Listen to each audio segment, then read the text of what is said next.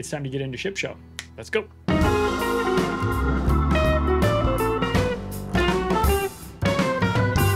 Last time we did this was in May. Um, and when we talked about it, there was I can't I feel like there was like one or maybe two new coal ships at that time, and we've only gotten I think two new coal ships that have come out. We've had another one that was promised, um, and that is the Halford. We haven't seen the Halford come out yet. And Halford, when was that available first? Was that in Uh, the it was summer? around Fourth of July. Yeah. Yeah, they did that event for Halford in West Virginia 44. Yeah. Uh, they put them in um, loot boxes that looked like mailboxes, if I remember right, and that was that was for um, Independence Day in the United States. So around you know early July, that patch would have been like 12.5, 12.6, that ballpark. Yeah. And so we're we're looking at 12 uh 11 now and 12 12 I think is the new one that's Mhm. coming out or is it 12 11 that's coming out? We're 12 10 so it's 12 We're 11. 12, 10, it's out. 12, 11. Yeah, they're they're going from 12, 11 to Mm-hmm. 13.0. Uh, that's the the schema now, right? Because January's patch is always like new It's always new the new num- year. new main number, but point zero. So we don't really. I think there's been a couple years where we got to like a point twelve patch, um, Yeah, but I don't think yeah. that's the case this year. Well, what we've got over here, so we won't be seeing Halford in tonight's list. We can probably chat about Halford if people are interested later on. But um, so again, when, when we do these coal ship rundowns, it's gotten longer and longer and longer as they've added more and more ships to the list. And so um, last time we did this, it was so long. It was like a four hour stream, and we don't want that to be the case. So we're going to, I say this at the beginning of every one of these videos, we're going to try to go a little bit quicker. Um, when that doesn't work out, what we're gonna do uh, is uh, edit in post. But like, so last time I split it into two videos. So there's a couple of tier threes, a couple of you know some tier fives, some tier sevens, uh, some tier sixes and fours. Those are all in their own little video, um, which we filmed back in May. That set of ships has not changed one iota. It's been relatively static for a long time, although we did see Rio de Janeiro, I think, was a newer one that was added to that list. Um, I Mhm. can't think if there was anything else that was more recent than that. Um, but uh, so that Yeah, video is still there, and again, we'll put a we'll put a link to it down in the description.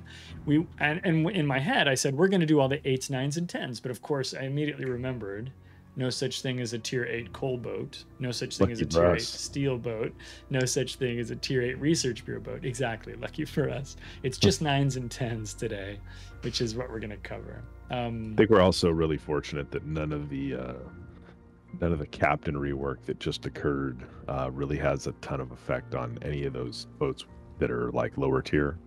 Right. So there's right. no like re- like like we don't have to go back and be like, well, look, because of the captain's rework, uh, we really need to talk about you know, Yeah. You're gonna take York or- Furious on Agincourt. and It's gonna change Whatever, the yeah. world. Like, I mean, you, you could, but like, you might have been doing that already. You know, Yeah. who knows? Like, whatever. second secondary build on Lazo isn't really a Isn't really tearing the world. not really a thing you'd want to do. So, looking at the the metrics here, we always have kind of this uh, slide or this graphic, this infographic at the beginning. Um, these are the current counts of coal ships. You got 15 tier 10s, um, you got 12 tier 9s. That's what we're going to talk about today. So, 24 boats ahead of us in conversation. Um, and then we'll leave those others into the other video. These are the classes. When we look at this all the time, and I say this every time we do one of these, um, whether it's Steel or Coal or Research Bureau, I always go, man, I wish there was more destroyers. But destroyer is actually the most populous class that is in this uh, this category of ships. Now, I don't know if that's true of the nines and twelve or nines and tens, um, but it is true across all of the coal boats that exist in World of Warships. So there's plenty of destroyers, plenty of cruisers, a group of eight battleships and two aircraft carriers. Um, and I think we'll talk about both of the carriers today and uh, a chunk of the rest of those. At the bottom, I've got the the pricing. The reason we're doing this this time of year, of course, is because the coupon is coming back. That renews, I believe, on the fourth, uh, which I can confirm. Um, but uh, basically, if you buy all of these ships with coupons, it costs you about five and a half million uh, coal. If you don't spend them, uh, buy them with coupons, it's 7.4 million coal. So there's a lot of savings to be had with the coupon if you're using it. Scott, we get people who come to the Discord or come to the stream or come by YouTube comments and they go, "Hey, man, um, do I have to save my coupon for steel ships, or, you know, and we talk about this a lot too. You know, when it comes to the value proposition of coal ships and steel ships, when does it make more sense to look at like a steel ship for your coupon versus a coal ship? Do you think? Uh, depends on where you are in your World of Warships journey. Uh, if you if you uh, don't have any coal ships and you don't have any steel ships and you're earning your so much coal and you want to get a coal boat, you should get it at a discount, right?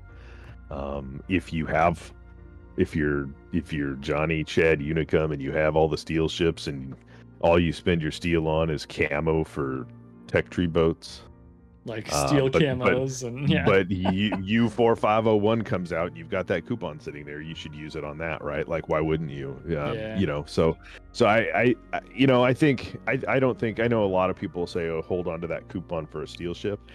I would only hold on to that coupon as a as a player um, for a steel ship if you knew that right now you have X steel and right. you if you use that coupon you could get a steel ship or if you can project out especially with the 12.11 um, snowflake event uh, if you have uh, what is it eights nines and super ships that grant you steel um, for playing them next patch so yeah. if you're if you know if you if you use something like clyde's calculator spreadsheet uh, or if you use you know use tools like that and you can project in the next couple of months that you would be able to get a steel ship if you use the coupon and that's mm-hmm. important to you then obviously you know you got to put a little bit of thought into it but yeah, you know I, yeah. I i think the important thing is no matter what you're doing if you're saving for a steel ship or if you're going to buy your first coal ship or you're going to buy a coal ship available to you use the coupon. I mean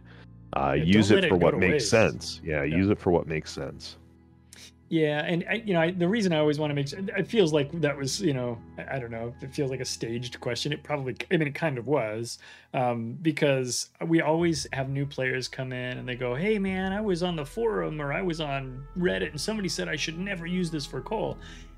That's like a Sith speaking in absolutes, right? You should definitely use it for the thing that makes sense for where you are right now in your as you said your world of warships journey right like you're yeah. you're trying to buy something it's going to benefit you it's going to benefit your account um, you should use a coupon to get a better deal on it and if it's not reasonable for you to be getting a uh, a steel ship right now um, then use it for a coal ship feel absolutely no remorse with that and and you know no need to to hide that from people it's okay to mm-hmm. use the mm-hmm. coal yeah. the ship for or the the coupon for a coal ship yeah, I don't I don't know about you, and I don't know how long they've even offered that coupon. But I know when I when I started playing, that coupon was together, a thing. It took me it took me like a, a long time before I had enough steel to consider buying a it steel takes a ship. long time. something like two years or something like that. I had been playing before I bought a steel ship. Um, and so yeah, I used a coupon on it because I had one queued up for it. But I used that coupon on coal ships. Um, prior to that because those were what were available to me. I didn't have them, and there was no reason not to. So, yeah, um, yeah. you know, I think again, you know, we're talking about this as uh, getting this. You know, we're having these conversations now because the coal's about to reset because we do this video a couple times a year. Um, you know, and and and yeah, if if you are a guy buying coal ships and you get the coupon in your in your mitts next week, use it to buy a coal ship. get uh, your grubby little your grubby little ship you know, grabbers you know, on one of these babies. Yeah. You should use it to get the use yeah. to get the shit. yeah, yeah. That's funny. Your little meat hooks. Um, we got a question in chat from Helmet who said, "What about using steel?" He didn't say what about, but I'm at Helmet. I'm I'm paraphrasing. What about using steel for coal ships? I have some thoughts on this. I I don't know. Maybe maybe you should go first though. Uh, I mean, I I don't think I would. I I may have in the past used some steel to put me over the top on a coal ship purchase. Um, mm. but uh, it really just again it's situational. Like, um, if if you're newer and the only steel you have is something you got from uh, battle passes and uh, you know maybe you got some steel from a super container or you know monthly yeah, container or yeah. something and you've and you've only and let's say you have under you know under a couple thousand steel like and you're looking to buy a tier 10 coal ship and you can use that to put you over the top with a coupon or something, I don't think there's any problem with that. I don't think anybody should shame anybody for using anything No. to do anything. And and that unfortunately that this community and this game has a lot of that. There's a lot of experts, a lot of experts a lot of real, a lot of you know a lot of topics. Everybody's an expert on every topic, and um, but you know, I think I think if if that is what works for you, Mm. and and that brings you joy with that that that show that used to be like on Netflix about like organizing houses. Like if it gives you joy, if that brings you joy, yeah. and you're like, yeah, if I spend this thousand steel that I have and this coal I have and use this coupon, I can get Kerr first, and I'm so excited to do that. Do that, like Yeah. go for it. Like knock yourself out. It's a video game for sakes. Like, like, like go Yeah. for it. yeah. Now, if you're like, you know, if you're like Turbo Chad, like Optimizer Man, no, you don't use that coupon for anything but steel boats. You don't spend your steel on anything but steel boats. You know, you Yeah. don't buy, you don't even buy tier nine coal boats or tier seven coal boats. You only buy tier tens. You only buy tier ten steel boats until you have all those because that's the most important thing. Yeah, I mean, do whatever brings you more, whatever brings you joy. Yeah, we are. Um, it you know. a fun thing that we do. We, World of Warships is Yeah. a game. It is not a second career. Yeah, right? we want to do fun things with it. Um, and and you know, I would say that in general, if your if your goal is to get a steel ship, and you have an opportunity to spend steel on a coal ship, don't. Yeah. Don't don't like throw that goal away to get the coal ship sooner. There there is a lot of benefit in saving that stuff. So I mean I think as a general rule, we what we saw in chat roll by was a lot of people going, no, never do it. No, it's a terrible idea. And and I think in a general sense, I agree, right? If you're gonna try to get coal ships and steel ships, go ahead and do it. I think, you know, for me, like if I was really close and I was a new player and I really wanted like Napoli or something, and I my my clan mates had been telling me it was so cool, um, and it really seemed like my kind of thing, and I w- and I could spend eight or nine hundred coal or steel to get it, along with my coal pile and my coupon. I could see myself, you know, kind of compromising a little bit there. I think the further you get into the game, if you're doing activities that earn you steel on the regular, there's some really great ships in the steel section of the store and you should if you have a goal to get one you should set that goal and not deviate from it and not spend your steel on coal ships that would be my recommendation if you're not doing those activities if you do not play ranked if you do not uh, do uh, I don't know if there's more steel on the paid side of the battle pass. I think there is, right? If you do not do clan battles, right? If you're just never going to earn enough to get that Borgonia, then you can use steel however you want. But I think that especially now with Battle Pass, even on the free side, there's some steel. Um, you know, I think that more people have more access to steel ships than ever before. Um, and that's, I think, a good thing, a healthy thing for the community. And so, my, my recommendation would, would be kind of in agreement with chat, which is, hey man, maybe maybe don't do that as long as that's a goal. If that's not a goal for you, if you do not care and you're just looking to get, like you said, get that curve first and get out there and have fun, um, do what makes you happy. Make sure you're having a good time. And on the subject of steel ships, um, we Scott and I went to lunch today, and when we got back, he said, "Hey man, when are we going to do that coal discussion?" And I said. We got to do it pretty soon. It's either got to be to. Uh, I actually what I said was it's either got to be Thursday or Saturday, and he said Thursday is today. um, and we decided to do it today because that fits our schedule a little bit better. Um, so we will be doing a steel conversation. I'm guessing I'm gonna try to put that next week, um, and we'll do it one of the weeknights next week. Is gonna be my my guess. We'll see, um, and we'll try to get that video out soon. So if you're interested in a steel discussion like the one we're about to have for coal ships, that's coming in hot. What know, what's really what's even really new there? Like There's two Gato? new ships. Gato officially came out. We talked about it last time, and uh, because it was about to come out, um, Ruggiero di Lauria came out. out. It came out, Didn't and regular people could come buy it. Yes, it did. No, they did. It was not regular people, and no, they could not buy it. It was people with six thousand more steel than they normally have, or whatever. It was price is gonna be. overpriced. It was you overpriced. couldn't use a coupon on it, and you it could was not use a for- coupon. And It's it was true. for Chads and Turbo Whales. Come on, that didn't really come out. It it was out for the general populace, so that one's on That's the like- list.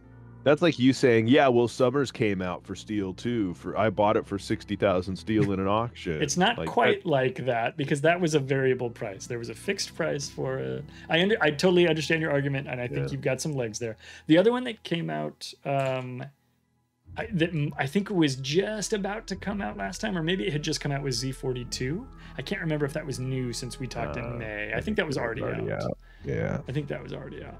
So those are Yeah, the we can recall we can record a conversation about Gato and Lauria about in about ten minutes after this one's done, and you can just glue it to just staple it together. Yeah, yeah, staple it. Anyway, we'll do. What you'll we have to edit. You'll have to edit all this out, so we should stop doing this. The front matter bull will be the label Yeah. for this part of it. Okay, we're gonna go on. So that was our metrics. The first page we got of ships is these six right here. These are ships that have been out for a while. The first one is a really interesting ship. It's the Black. Now, Black is a coal ship, but she comes from the old Steel Legends list. Um, it's a Tier 9 American destroyer. She's uh, Fletcher. Uh, she's a Fletcher class destroyer. She's got some of the slowest torpedoes in the game. Um, and she has a radar. I think she was the first destroyer ever to have a radar. But she costs a lot of coal, Scottish. She's 296,000 coal hmm which makes her a great target for people who are thinking about using a coupon. This is something we didn't just talk about uh, earlier, but there's a couple of these ships, this one and Neustra in particular, which are 296,000 coal. If we round that up to 300,000, that means if you use a coal coupon, you're going to save 75,000 coal, which is a lot. I guess it's 74,000 if you don't round it up. I could have done that math. But um it's a really good ship. Good stealth, American guns like you expect, good smoke, radar. I, I mean, there's really not much to dislike about the black. I think I think we're both fans of this ship. Um, what do you think of the black? Yeah, I, I mean, the whole like when it, I'm glad it's not a steel legend anymore. They did that whole thing when they first put this out for coal, where they didn't call it a coal ship, they called it a steel legend, so you couldn't use the coupon. I don't know when that went away, They but on that. this in Neustrashimy, you can use the coupon now, which is cool. Um, Black's a lot of fun. It's a, it's a, again, it's it's a. This ship originally was like an award for ranking out, like back in early seasons of ranked or something. All right, right, like, like multiple times, like was yeah, multiple times. Yeah. It was really hard to get. Then it was a steel boat, and now it's just an expensive coal boat. And it's not. It's been power crept over the years. Obviously, this year a line of radar and smoke destroyers was introduced to the game. Um, I like this ship better than those, I do too. personally. I like I like some of those boats, but I like this one better. Yeah, I, I you know, and and I, I like this ship because it's fun. It's you know, in the chart of Fletcher's, which is a different ship show. Um, this this boat, this boat ranks relatively high for me on the list of Fletcher's in game. Um, you know, the it, again, it plays the gun ballistics and everything like that plays like Tech Tree Fletcher or Tech Tree Tech Tree Chung Mu, if you're familiar with those. Um, the torpedoes are are historically known as sea mines because they are super slow Very very Um, slow. like what 50 knots or 54 knots or something um but the the ship itself i still think is really relatively fun to play because you have long american smokes and a, and a pretty good radar duration unlike like Gdansk and uh Katsonis at the same tier and spl- uh, was it split that's the other one. Eight. yeah unlike Yeah. those where the radar is like 10 seconds the the radar duration on black is actually longer and and more fruitful and usable so you know you can you can use Mhm. this ship to radar another destroyer in a cap smoke yourself up and then kill that other destroyer while your radar's going. Maybe on your own maybe with the help of some friends but it's a lot more realistic. So yeah i think black's a it's a fun ship. I would definitely recommend if you're going to buy it using a coupon. It makes it cost what the other tier 9s cost without a coupon basically. Yeah, um, that's exactly right. uh, but it's super expensive to get it without using a coupon So Helmet dropped a note in chat said, "Hey, being a Black Friday ship makes it a worse value." Um, I I don't know if I totally agree with that. I mean, it's it is an expensive ship. I, it depends on if money or coal is harder for you to get, right? Black Friday ships, you know, when you buy a Black Friday ship that is a coal ship, you could have gotten that ship for free, but you get it for in-game currency. And so, if you're the person for whom money comes faster than coal and you're busy and things, then the Black Friday ship's a good deal. Plus, the Black Friday one looks pretty sick. Um, but the uh, I think that's kind of a question of that player's personal economy and how that works out. Um, I do think, of course, if uh, you get the Black Friday one and you have this one during that time, if you get them during that time of year, um, then you've got an opportunity to get the the uh, doubloons coupon. I don't think you get that coupon if you get the the regular black like in March, for example. So I think if you're a person who's trying to optimize that kind of stuff and you have Black Friday black right now, um, wait until next Black Friday or whenever that period is where you can get the missions Yeah. to buy the other Yeah, one. yeah, Yeah, and and and and you know, it's you can say, well, because they put out a black version in 2023, it marginalizes the value of it. I don't believe that's true because that event's over, and you True. won't be able, in theory, you won't be able to get it as a black ship for another year if it's available next year. No Right, guarantees. Right. the ships always seem to come back now in the black sales, but currently, um, you know, that stuff's over with, right? So I think you might be able to eke out some Black Friday containers still from a couple lingering missions, but that's basically done with. And again, that's exchanging money or luck in in things for something that you get for free by playing in coal. So uh, Yeah. I don't think it marginalizes it. I unless you're like a, uh collector, I wouldn't get both. If you just got the black Yeah. one, then Yeah. if you got black B, you don't need black Agreed. pure and simple. Like you have it and you know how it plays and you're enjoying it. Use your coal on something else. Yeah, agreed. I, I do think that adding it to the, you know, what what adding it to the black ship list does is it gives you options, right? It's just more choices, and and we like choices, even if they're the same ship with a different camo. Um, that's generally an okay thing. I do believe that historically, if you get the black or another black ship that you got the B version of out of a container during the holiday event, I remember a couple of years ago I was getting the Black Friday missions at that time too. So hopefully we have some folks who can do that. Don't quote me on that. I'm not 100% sure that that's going to be the way it works, but it has worked that way in the past. So that's a good thing. But I think we can probably move on to Neustrashimy, which is similar in that it was also a Steel Legend. Scott, do you want to start off the Neustrashimy discussion?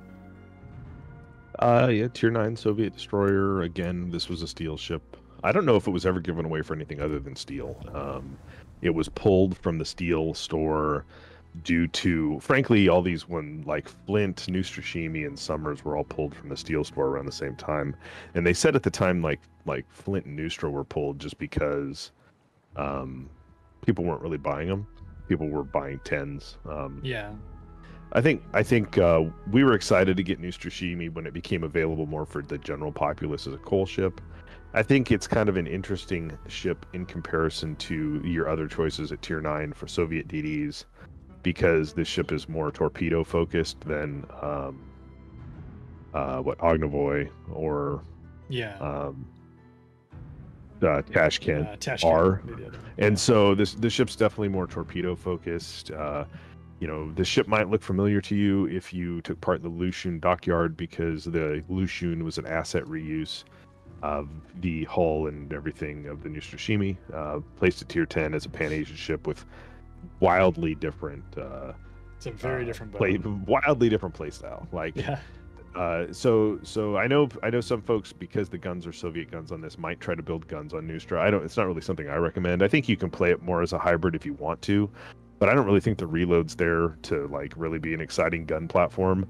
Um, I think that it's more of a torpedo platform, although the torpedo reload on it is not like quick. Um, the Right. torpedo range, the torpedo range on it isn't epic.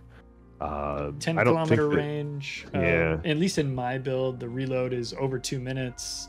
Yeah. Um, 5.6 kilometer conceal, though, which is unheard of in Soviet destroyers. So- Yeah, really good concealment for Soviet destroyers, and generally really good concealment for Tier Nine destroyers. I think the only stuff that's going to be lower than that now is like Jaeger, um, and maybe, maybe one of the Japanese ones. Um, so very very low conceal. yeah, Um, it's quite the, quite good. the the you know the gimmick on Neustra is that it has um, like a super heal. Um, I don't you know that's not the technical term, but that's kind of the the community specialized parlance repair teams. yeah, we call it a specialized repair teams. It's Yeah. more it's it's not like the weird heal on Lushun. It's it's a heal that is more like like on Conqueror. It's just like it can heal back a lot of damage um, over time, and it's not like a long running one like those weird heals on Lucian. Right, it's um, a which 20 makes it- second 20 second heal, 425 hit points per Yeah. second. Again, in Clyde's build. I'm not Yeah. getting the official numbers Yep. here, but Yeah, but again, that makes it different than a lot of destroyers. Like just being a DD with a heal, um, that's great. Uh, being a DD with a heal that can heal back a ton of health is really great. So, um, you know, that's interesting about it. I don't feel like we see a ton of people play Neustra anymore, but um, right. there's so many ships in game now. You, that could be said about a lot of ships.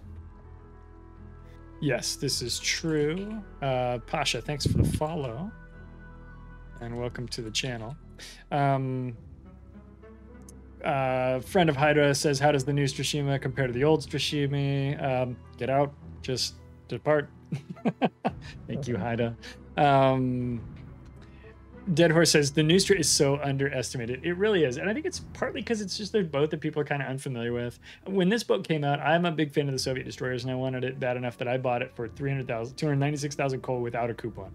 Um, it was the most expensive coal boat I've ever purchased, and will, will probably continue to be so for a very long time. So, the boat is. Um, it is unique in the term in terms of the Soviet thing uh, or, or Soviet line.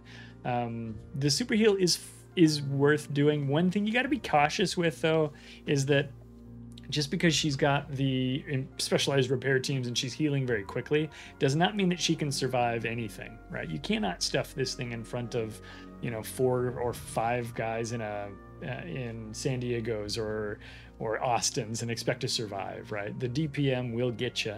Uh, and you do need to make sure that you can actually survive the situations you put it in. And that can make it difficult to get full use out of the super heal. Um, there's a there's kind of a tipping point where it's where that's the right time to use it to keep you from being dead, and it's also the best time to use it to get the most out of it. Um, but she is pretty pretty capable. She's got the DCP, she's got smoke, she's got uh, a defensive AA consumable, she's got the super heal, and she's got a speed boost. So she's got a lot of tools and tricks, kind of like the ships on the Grozovoy line. Uh, 10 kilometer torpedoes. Scott had talked about those a little bit already. HE and AP shells, nothing amazing there. Just four barrels of, I think it's a base five second reload. You can bring that down quite a bit. Um, I, I, obviously I'm talking about this boat enough. You guys can uh, you understand that I'm yeah. so, at least familiar with it. Um, she's a I play her more like a bit of an all rounder. You're more of a torpedo focused player with it, which kind of suits our styles. Um, but the mm-hmm. smoke is good, and you can gun farm from it, but it's not going to gun farm like a purpose built gunboat, right? You've still got to make sure you're using both of the types of ordnance, the guns and the torpedoes, in my book. Yeah, just just looking like flat stats um, on ship tool at the tier nine coal destroyers, of which there are four, uh, I believe. I think there's just four. Um, Neustra has the lowest AP DPM which you would you're like, oh, how could that be? It's actually sizably lower than Z44, which no one considers a gunboat. That is a true um, statement. That's interesting. It, I didn't it's know that. HE its HE DPM is only a like 900 better than Z44s, hmm. um, which no one considers a gunboat. Its torpedo DPM is worst uh, actually, that's not right. It beats out Groningen in torpedo DPM. Um, Thank you for that. I said the the joke. I was like, wait a minute, but, Groningen. Yeah. You fooled um, me. You know, its torpedo range out of the coal DDs is the lowest. Um, I think yeah. you know where you're where, what you're getting on this boat is you're getting a better concealment and you're getting that heal. Uh, the AA is abysmal. It's nothing to write home about. None of these ships. Well, Groningen actually has decent AA. Groningen's pretty good. You know, yeah. the other you know Blacks is actually better than Neustrashimy's, and nobody thinks that's a good AA platform, right? So, right. so there's a lot to not like, in my opinion, about this ship at the cost.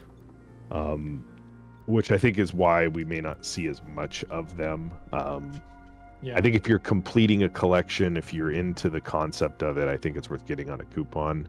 But I, I, I would have a hard time picking it over some of the other ships available uh, in the coal store right now. I just, I, I think this one more than any, unfortunately, should they should they need to like lower the price permanently and give up on this whole people played steel, so we need to make now we need to make people play too much coal for it. I think they could just be like, okay, yeah. it's fine. Like really, it's fine. This is only like a two hundred and twenty-five thousand coal boat. Like it's cool. Like, yeah. I feel like but, they they're probably leaving it that way just because some people paid that already. Whereas like with the free XP boats, when they brought over you know, Hayate, 2 million free XP. People were worried it was going to be expensive because of the precedent set with this ship, with Black. Yeah. And it wasn't mm-hmm. that way. Because I think war, even Wargaming's like, you know what, we know that's dumb and we don't want to do that anymore yeah. either. And, and looking at this boat, you know, you talked about how it's not super powerful, but it is particularly unique.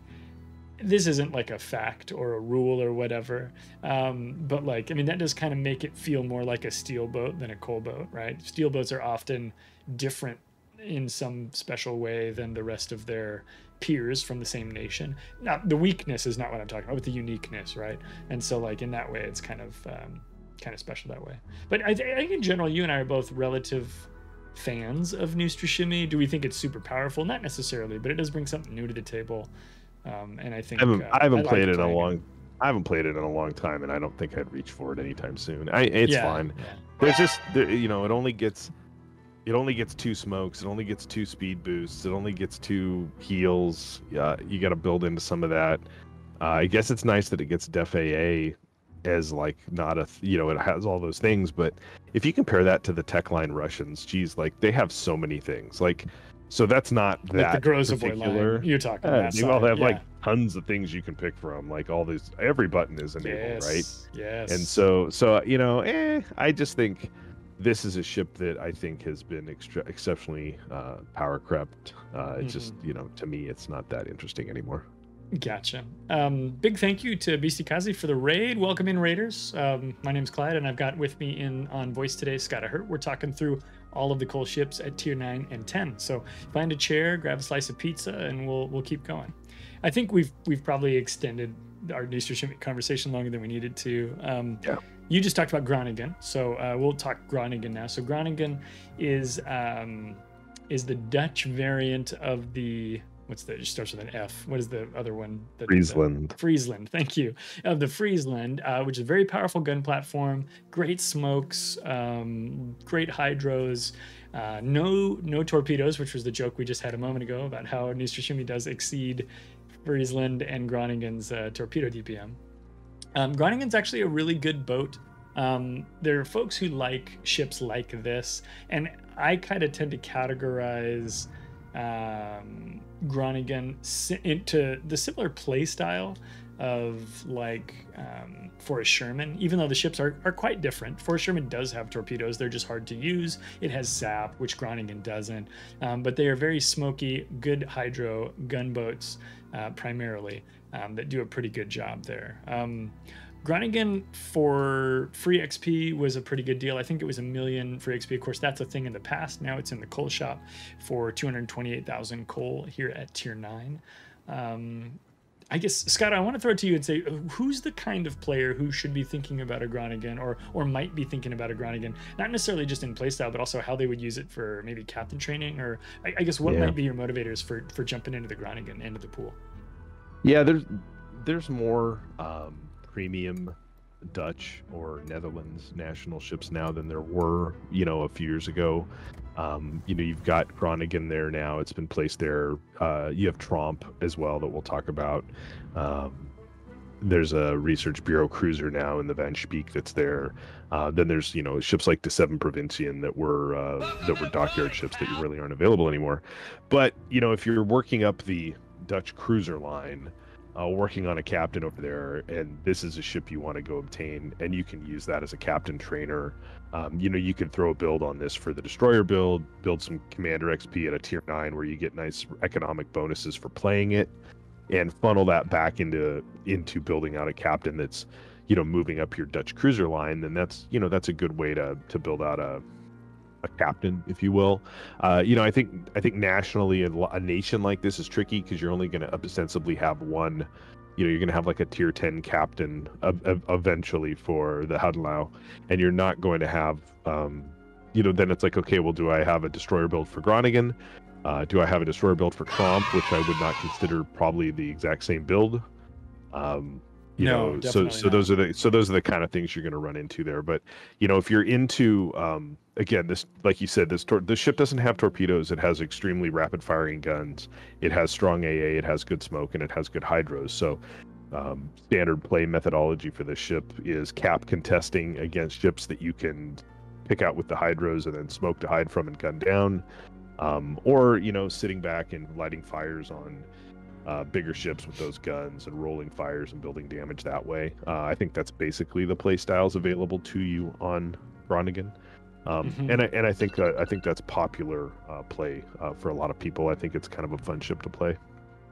Yeah, exactly. I think um, we see a lot of times what I see people do with this ship is they they roll up. They don't necessarily even contest the cap. They just they camp near it, and they make it an awkward place for another destroyer to go, or they farm battleships over islands because the shells are very high in arcing. Um, good, decent fire chance, high rate of fire, um, and it's it's a really pesky ship. I always think it's very pesky and annoying when I'm facing one. When I'm in one, I tend to have a pretty good time with it. I do think Groningen looks really good. The camo they put on it, which we were showing on the screen here just a moment ago, looks really great. Um, and I believe Friesland is no longer available. So if you want yep. this boat, this is the one you can get, and it's for the Dutch line. So um, the only, and there, it's an exact copy of Friesland. There's no differences whatsoever. Just that when Friesland came out, there was not a Dutch uh, country available, and so you could, um, and so they didn't put it there. They put it in the um, the European list, and so now we have, of course, Groningen, which uh, fits into its actual nation, which is cool. Yeah, yeah. They were going to move Friesland, and the community said, "Hey," yeah. and so they said, "Okay, fine, you can keep your Friesland, or you can have a Groningen." and that's how they, they did that. So a lot of us like yeah. me who had a Friesland kept their Friesland as a as a pan Euro ship, and then went and got a Groningen after they came out. Because what we really needed was more premium destroyers in the pan Euro line to cause us to grind more and more captains right. over there, especially weird ones, you know. Um, yes. Thanks for the follows again, folks who rolled in with Beastikazi. Beastie, thank you again for the raid. Um, if you guys don't know Beastikazi, go check her out. She's the newest. I think she's the newest World Warship CC um, uh, European CC. So check her out, uh, twitch.tv slash Beastikazi. If you're watching this on YouTube, I'll put a link in the uh, description down below as well. Um, but definitely go check her out. Um, yeah, Groningen I think is a good boat. I think it's a it's a good boat, good AA, lots of reasons to get it. Um, and uh, and worth having in your port, especially if, like you say, if you're doing Dutch things. Uh, you're right that it's not the same build as Tromp. Tromp is an oddball destroyer as well. It's got airstrikes and torpedoes, which is very different from Groningen. So you're going to need a different commander for the two. Um, you could slam the same commander on both, but it's not going to be optimized for either boat if you if you build it down the middle, you know, the commander. So do something uh, dedicated for each one um, if you have happen to have both, but. Um, following Groningen, we roll into uh. Do you want to talk us through Aegir?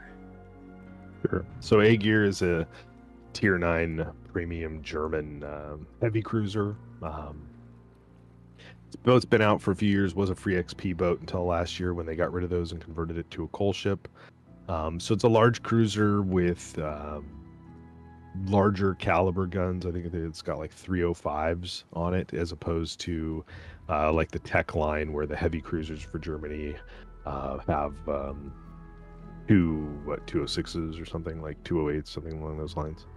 Uh, I can't remember yeah. what's on Hindenburg, but um, so this ship has nine 300 305 millimeter guns. Um, generally AA or generally AP focused, like most German cruisers. It's going to get German quarter pen with the HE shells, but they don't have a high alpha damage. Um, ship has six kilometer torpedoes. It has characteristic of German ships. It has like a decent hydroacoustic search consumable. Um, lets you pick out torps and things. Uh, it's kind of a big ship, kind of a clunky ship. Um, not a bad concealment, but not epic nowadays. Uh, you know, most new ships have much lower concealments. Um, it's a sister ship or a design sister ship to the research bureau ship, the Siegfried. They share the same hull, but the Siegfried has uh, even larger guns and less of them. Uh, right, right. So yeah, so mostly what you're getting with this ship is very similar to some of the things you get with German cruisers that you may have already played, which is like hydros and and kind of more of an AP focused playstyle over the HE. Although I think you can get away with using the HE on the ships that reload quicker more often than on this one.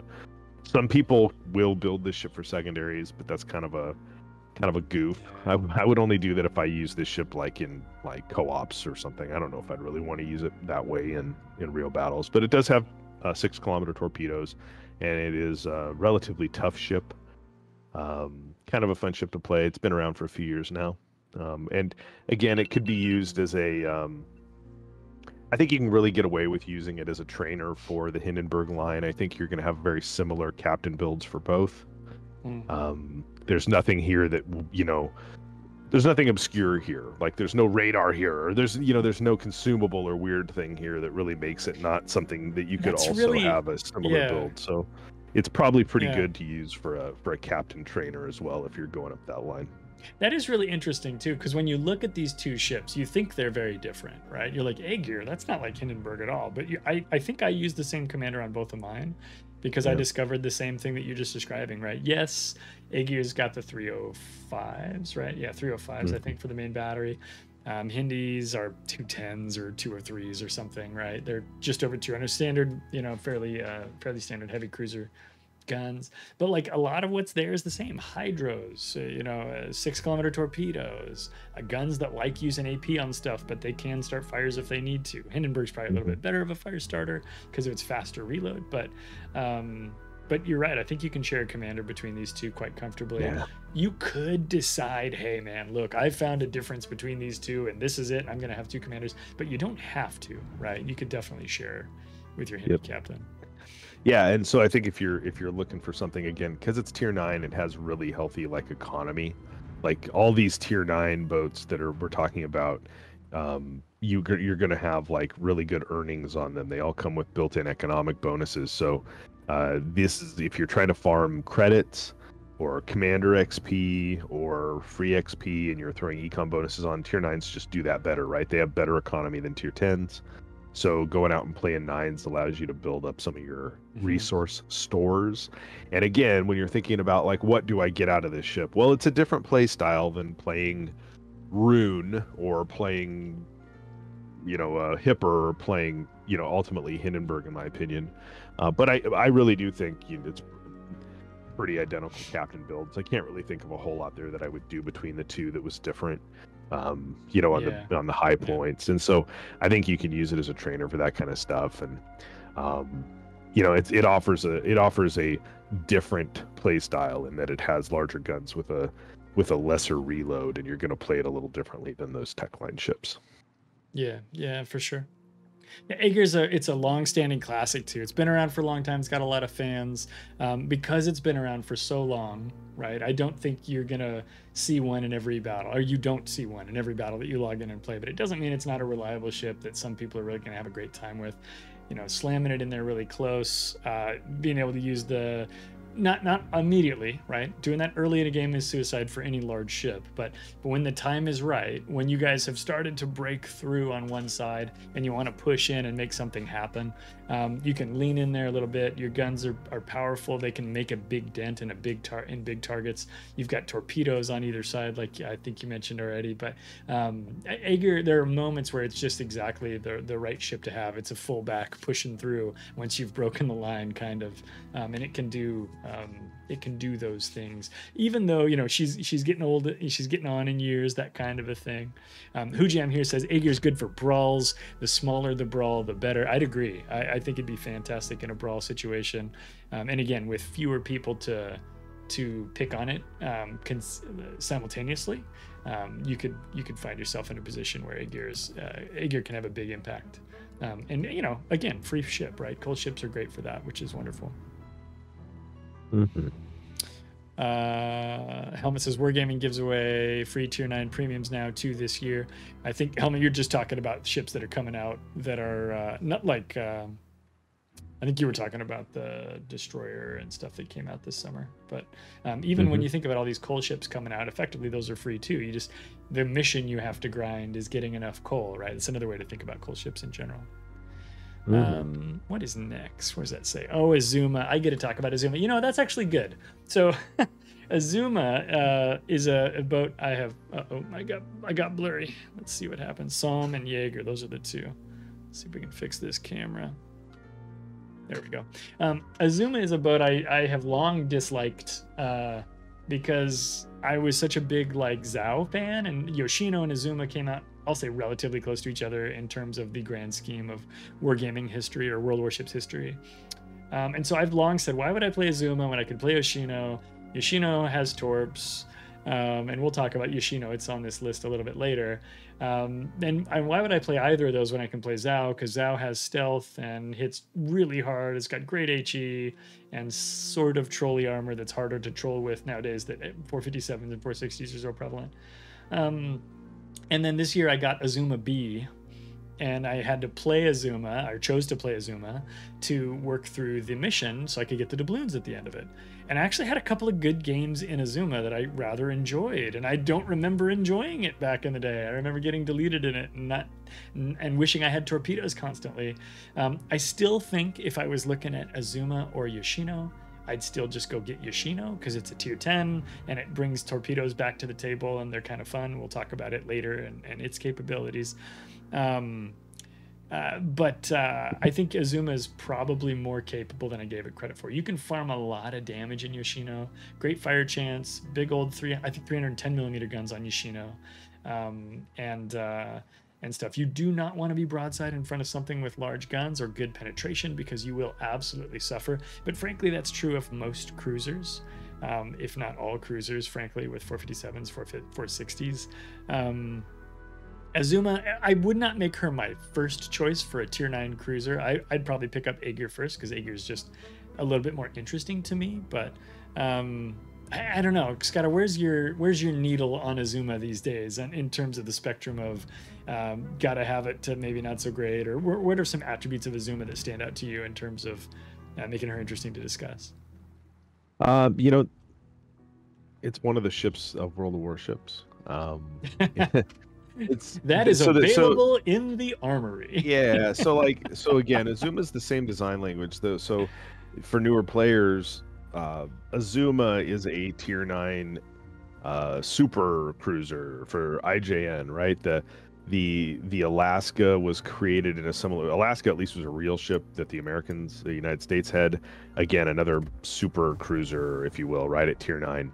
So I, I think at one point uh, the folks at Wargaming or uh, when they were designing the game were like, we're gonna make, we're gonna try to make like one of these kind of ships for every nation at tier yeah. nine, and they're all, and a bunch of them were gonna be free XP ships, and they're no longer free XP ships; they're coal ships now.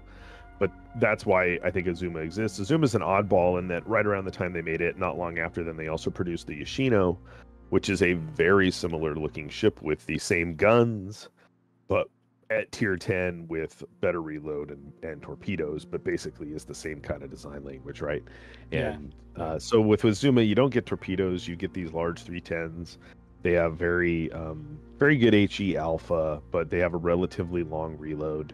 Um, they are relatively accurate. They have a pretty long range.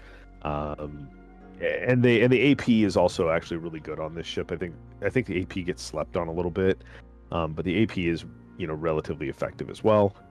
Um, but you know, as far as there's a lot, like we're talking these nines and tens. It's a long list of ships. Um, there's 24 coal ships at tier nine and tier 10. Uh, this is one of the World of Warships ships of World of Warships. Yeah. Uh, do you want it? It's if, if you want a and, I hope you don't hear my. I have a timer. I'm timing myself on these. I don't want to talk about any of these for more than two minutes. I am listening to um, your timer, and it's fine. Yeah, and but but but like ultimately, like when you when you look at like the list of these tier nines and these tier tens, um, if you're interested in in you know having ships from Japan, there's only four coal ships from Japan. Two of them are Azuma and Yoshino. They play very much the same if you're yeah. going to spend your coal, you should spend whatever it is, fifteen thousand more coal or whatever to get Yoshino. Just get the tier ten. I don't. The tier nine is going to have better economy, but yeah, like Right. It is what it is. I don't know. The the better economy is a thing, I guess. I don't know. I uh, and and this is something I have kind of the freedom to say because I've been playing World of Warships for eight years. To me, the economy is not that important anymore. That's not true for all players. For me, I'm just looking for the ship that's the most capable, that's the most fun. So I have the freedom to go. I don't care about the economy, but it, that is a good point to bring up. The t- tier nines have enhanced credit earnings, which we know for newer players is worth mm-hmm. something go get the tier nines when you can because they're great it's for a, earning credits and things like that. It really is something not to overlook. It's a big deal to get a tier nine premium that you're comfortable in playing, to farm credits, and things of that nature because when you're working through tech lines, you're always broke constantly, and. It's and so, so, having long. having a good tier nine special premium ship like one of these that you're that you like playing, yeah, that you're that you're competent enough to go play in, so that when you can you need to get away from the grind and go play one of these to build up your credit stores. That's the real value, in my opinion, in these ships. That's why I think they were free XP ships before. Now they're coal ships, but that's what I think you get most out of having an Aegir or an Azuma or an Iwami or on this any of these tier nines on this page, right? I do not think Neustrashimy and Black fall into that category because they just cost too dang much. right. But um, as a newer as newer players go, that's what a lot of these tier nines I think are, are value added for, is being captain trainers and being credit earners. Yeah. Uh, quite frankly, Yeah, Dead Horse earlier commented about the AP, which you mentioned as well. The AP is really good, um, and when you have a nice flat broadside, you should switch shells. This is not a boat where you want to stay on the HE forever. Um, and he did say here the H, uh, Azuma has the highest HE alpha for a tier nine cruiser. I think still question mark question mark question mark. I have not confirmed, but it does have good HE alpha. I will say that you often get 3,000 damage with Azuma or Yoshino constantly, uh, frequently, but there are a lot of salvos you're going to get that are a lot better than that. And the better shot you are, the better you are. Japanese ships, including these two, are fairly accurate. They don't have tons and tons of dispersion. This is a big ship with big guns, so it's going to have some dispersion, but it, it's uh, it's Yep. fairly easy on a larger target to land multiple ships. Um, I don't know if it has the best HE uh, base best HE alpha of, of all tier nines. I know that it is tied for the best HE alpha of the boats we're going to talk about tonight with Yeah. Yoshino, uh, because they're the same guns with the same shells It's the same and the same yeah. number of barrels, right? So, um, yeah. So at tier nine, you know, this the other ships, you know, Carno and Aegir, um, at tier nine have less HE alpha than this ship does. Right. That doesn't mean that they have less. That doesn't mean this has the highest HE DPM. Although Right, it might. right. Actually, it probably does because those other ships don't have great DPM either. But is what it is. Right. Anyway, so that's Azuma. Um, she's available. Um, you can get her again. I, you know, I don't think to be to be realistic about the ship. This is not near the top of my list of cool ships. If I was, even though I just recently played it, I just recently had a good time in it. Um, you know, and, and enjoyed more or less my games in it. Um, I still don't think I would prioritize this above other boats, and we'll give some. We'll talk about some of that stuff as we go um, a little bit later on too. It looks like that's a Wami is our next boat, and we had somebody earlier say. Um, I'm gonna buy a Wami as my next coal boat. It was before we'd gotten into the discussion. I think it was Kilo maybe. Um, and Gubario just said, uh, I wanted to get a Wami because there's just not enough premium tier nine Japanese battleships in the game. um, Scott, why don't why don't you talk us through premium tier nine battleships in Iwami and this ship for Right. coal? What do you what do you think about Iwami? Well, one thing I would start by pointing out in looking at what's available for coal in the battleship department is at tier nine and tier ten. There's only five ships there. Um, Right. There's only eight That- total, and five of them are at the tiers we're talking Yeah. about today. and and and only one of them is the 10 uh, most you know there's four of the five that we're going to talk about tonight are at tier 9 um, so for for one thing what i would point out is the ba- battleship community in my opinion is underserved in coal boats. I believe iwami is the most recently released of the coal battleships. Iwami's maybe a year old now um, yeah, about probably maybe a little more. yeah, maybe a little more. Uh, so Iwami uses the uh, hull uh, asset reuse. Asset reuse. It uses the hull that was put together for uh, the Hizen, which was a a dockyard boat, which is also very similar to the Izumo hull at Tier Nine, the Tech Line boat. It has a more traditional turret layout, as Clyde's showing here, right, with uh, ABXY turrets. It has um, 410 millimeter uh, guns on it, eight guns. One thing I like about the Iwami's main guns is that the the base reload is really low. Uh, it's an eight gun battleship that doesn't punish you for being an eight gun battleship with by how and, and it has a 28 second base reload. So um, you should build into the reload in slot six, and you can push that reload down, and that's great. Um, that feels good as a battleship player to reload more often. Uh, and the guns Yeah. aren't bad. The guns are not like confetti cannons. This the ship has a 2.1 Sigma. It has a. Uh, it doesn't have the best vertical dispersion at tier. It, in fact, overall, out of all the, out of all these coal battleships, it actually has the worst vertical dispersion. But that Hmm. 2.1 Sigma counters that.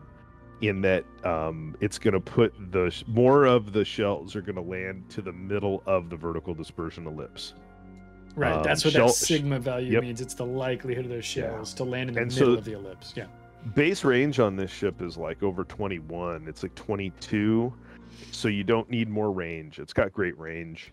It also has the gimmick of having like 20 kilometer torpedoes, like the Shimakaze 20 kilometer torpedoes, I believe. Um, that you can throw off each side, which are great. You know, when you're sailing around, this ship is a ship that I play at like mid ranges, uh, mid to long ranges, because it's accurate and because it's not exceptionally tanky like most Japanese battleships. It just doesn't. You don't.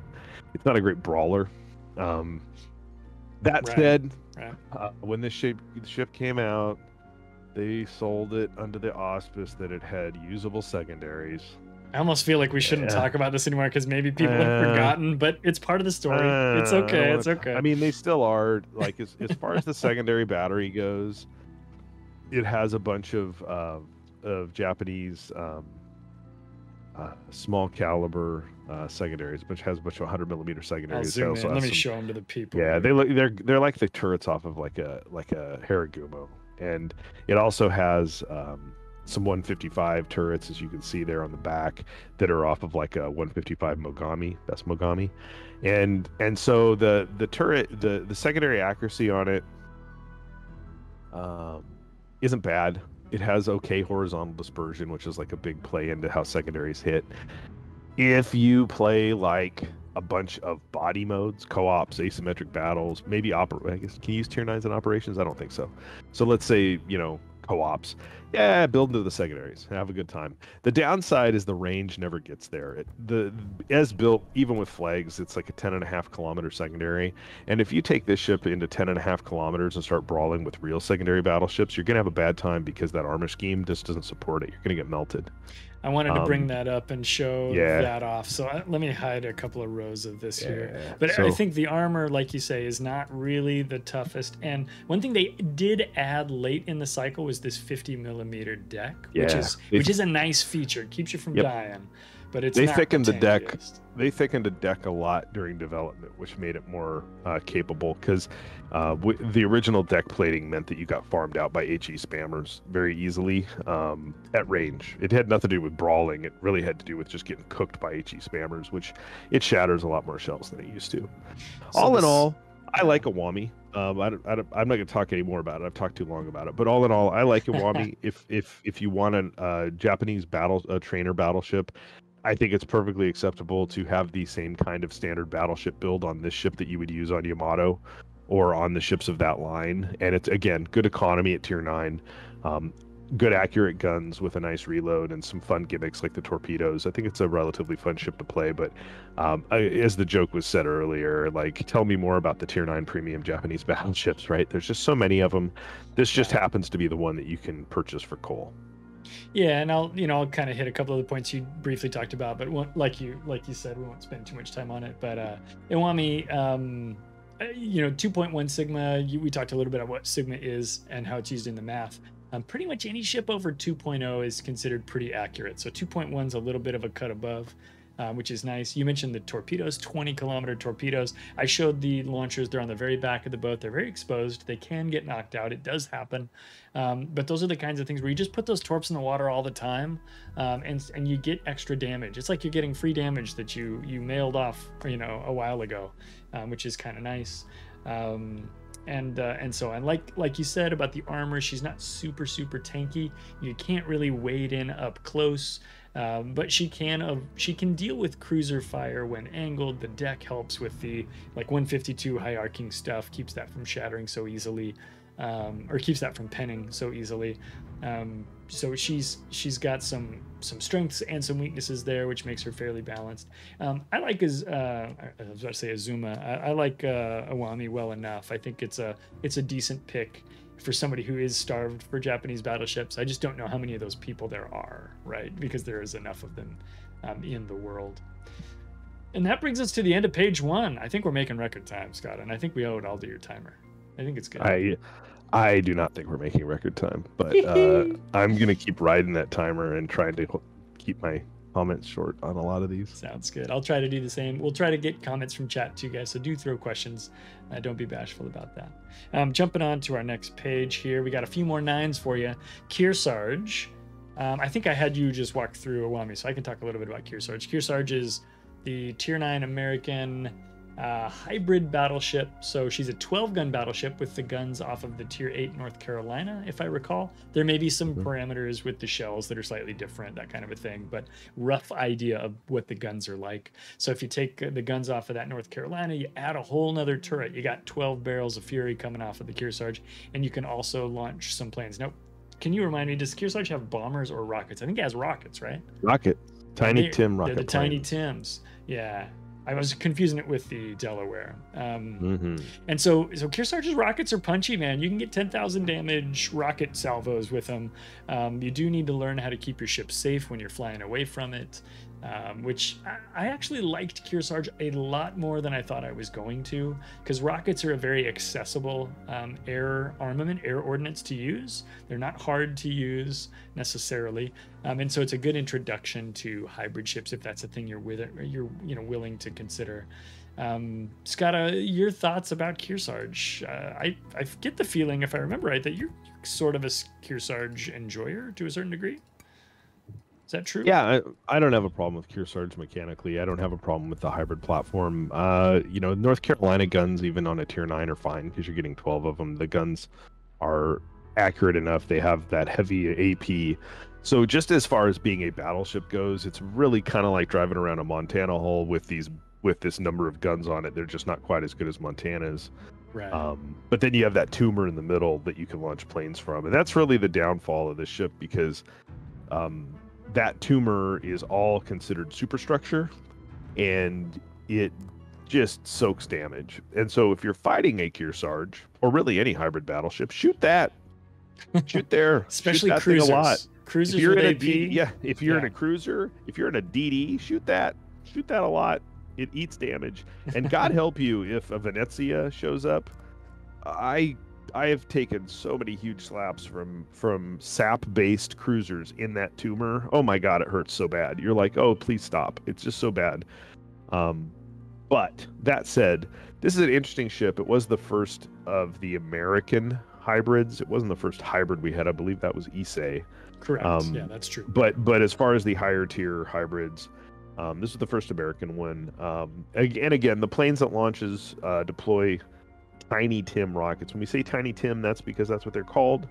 It means that each plane only fires like, I think it's only like four rockets per plane. So you don't get a massively huge rocket salvo. They are still HE rockets, they are not AP rockets, uh, but they have pretty strong pen and they light a lot of fires. I find the best targets for those rocket launches is other battleships. Yes, um, that's was striking, that's been my experience too. Striking other battleship superstructures with them, and that goes for all of the carrier planes that have tiny Tims. Mm-hmm. Um, you don't put out enough rockets, and they don't fire quick enough. There's a long uh, machine gun period, uh, so it's hard to hit destroyers with you them need unless a you're big, really, unless you're really target. skilled. Yeah, yeah. But I it's agree. really good at, at smashing another battleship and causing fires and stuff. But yeah, I think Kearsarge is fun if you're interested in the hybrid play style. Um, I think it's fun. Uh, yeah. Again, you can use it as a trainer for the American hybrid split. Um, even yeah. though those have bombers and not the rocket planes, the the way those ships play is very similar in that you're playing at mid to long ranges and you're flying these planes around, right? So yeah, um, think... but yeah, I think I think it's a fun ship. It's kind of an interesting ship, and it's not it's not a bad battleship either. It's a good battleship. It's just different. Mm-hmm. Yeah, this one kicks the crap out of the Nebraska. It's way better boat than Nebraska is. Yeah, I, I will not hear any arguments to the contrary. Um, you know, versus Delaware it's different. I like the guns on both of those ships, to be honest with you. Um, but I do mm-hmm. like the guns on Kearsarge quite a bit because I like the guns on North Carolina. And this is just a boat that has more of them. Um, I don't know if I think that Delaware is more or less powerful than Kearsarge. Uh, I know, you know, we're trying to move along, but uh, your yeah. thoughts on it? Do you have a preference between Delaware um, and Kearsarge? I like Kearsarge's because you have 12 guns on Kearsarge and on Like Delaware you only have 10. Yeah. Um, but on on Delaware you have Iowa guns, and on Kearsarge you have North Carolina guns. But I don't find a huge difference there. So I actually think I prefer the gun weight salvo from Kearsarge over Iowa, or not Iowa, but over, Over the Delaware. Delaware. Delaware is the one that has that rear rear turret that's only like two barrels, if I remember right, too. It's, It's like either the a two, two, front, and a yeah. There's a two think the barrel two- and a. I think the two front turrets are both threes, and then the rear turret's like a two or something. Because on have it. Louisiana, the rear turret's like a four, which is crazy. All right, here's here's Um, Delaware. I'll put it up. So yeah. it's three, three, and two. You're right. Yeah, three, three, Yeah. and two. So it's actually only Um, eight guns. Yeah, and so that part of it sucks. Um, and but you know, and it's and the hull is more like an Iowa hull, and that's different than you Yeah. know. Kearsarge Kearsarge kind of has more of a Montana hull. But anyway, I I think between the two, as far as battleships go, I like Kearsarge better, but I do prefer the planes on Delaware. Um, I know those planes, have, although I, I will say that those planes have all been nerfed a whole lot since I probably played them a lot, and so I may feel differently if I played it recently. The reticle got bigger on them because they were nuking Yeah. destroyers, and that was a patch that happened shortly after those came out. Um, and I, as a destroyer player, I'm very pleased that they got nerfed. Um, I think you can still hit a lot of the targets that genuinely make sense for those the tech line. Um, so I don't want to spend a ton of time talking about the tech line necessarily, but for people who are curious, like, hey, why don't I just play Delaware? Um, you totally could, and you could be very happy playing Delaware. Um, Louisiana is a really strong ship too, so um, don't think that you have to get the Colwyn right away. Um, if you if you do get it though, I think for people who like battleships and for people who like hybrids, it's a good group ship for both of those groups. Even if you don't really love hybrids, um, or or don't think you would love hybrids, it's a good one I think to Yeah. try potentially. What I what I would consider is that if with three tech line American battleship lines, if you only have one of them done, and let's presume it's not the hybrid line, yeah if you have Montana or if you have Vermont or you're working on one of those lines, Kearsarge is a good trainer really for either of those, just as far as battleshipping goes. Um, And then you have the plane thing. But even if you don't really even use the planes, it's not a bad American battleship. If you have yeah if you've gone up the side that has Kansas and Minnesota and Vermont, Kearsarge is a lot more like North Carolina, Iowa, and Montana, right? If you have, if you've got North Carolina or Iowa or, or Montana, Kearsarge again plays similar to those. It has this, you know, similar play style as far as how the ship moves around and the gun weight and all that stuff. So, um, and and if you want to know what it's like to play the hybrids without going up the hybrid line, you can get that from Kearsarge. So, without having to um, play the Colorado again. Right without having to play colorado over and over and over and so Yeah. if you d- and, and if you don't have any american battleships this happens to be the only one you can get for coal so enjoy yeah, yeah, it's kind of you're limited there, aren't you? Um, which is pretty good. Um, let's jump onto Tulsa now. I happen to know you have some opinions about Tulsa. Um, Yeah. Why don't you kick us off? Tulsa, here it is. Uh, we'll talk about it. Yeah tulsa is a uh, uh again tier 9 american cruiser uh, ostensibly a heavy cruiser due to guns the gun caliber of 203 millimeters uh tulsa is a I guess it's like a mini Des Moines, but it doesn't. It just doesn't have what makes Des Moines great. Uh, it only has six guns. It's I don't like six gun anything. Maybe destroyers with six guns, but like Sure, that's very It's- it's a- standard, right? a six a six gun cruiser where you only have four barrels forward. Um, the reload isn't epic. Like Des Moines' reload is epic. This has a similar reload, but because of the the lack of guns, this needs to have like a two second reload to feel great to me, and it doesn't. Five point one seconds in yeah. sitting here in my port, right? Yeah, and it doesn't have the armor schema that that Des Moines has, so it's a lot harder to play as Des Moines. Um, if you don't have the American heavy cruiser line, uh, the tech line, maybe you're interested in how that plays. I would highly recommend you you save a few more coal and just buy Salem. Yes, Um, I think so too. I and so this ship is odd to me. It has it has radar, has hydros, might have defensive AA. I don't remember. I I I don't really like Tulsa very much. I played it recently on stream. I hadn't played it in a long time. Um, I had a I had I had a nice game in it, uh, but I couldn't carry. I could not carry out in it because I was matched against an Alaska. Uh, and I'll tell you what, if you're gonna play a tier nine American premium cruiser, I recommend Alaska over Tulsa. Uh, it's it's just you know it's it's hard when you look at what you're matched against as far as tier nine cruisers go. In my opinion, there's not a lot of cruisers that I wouldn't rather play than Tulsa. Tulsa is not high on my personal list of tier nine premium cruisers. Yeah, I uh, I got Tulsa Banana Crate. I think I didn't buy it for coal, but I did pick it up at one point, or or, or wind up with it on my account. And um, I had never really played it because I'm not a I'm not a big American heavy cruiser fan anyway, which I know is almost sacrilege for for many on on the stream or or watching on YouTube later. I'm sorry, everyone. Um, but I had somebody choose it for me, or maybe our Selectomatic random chooser picked it.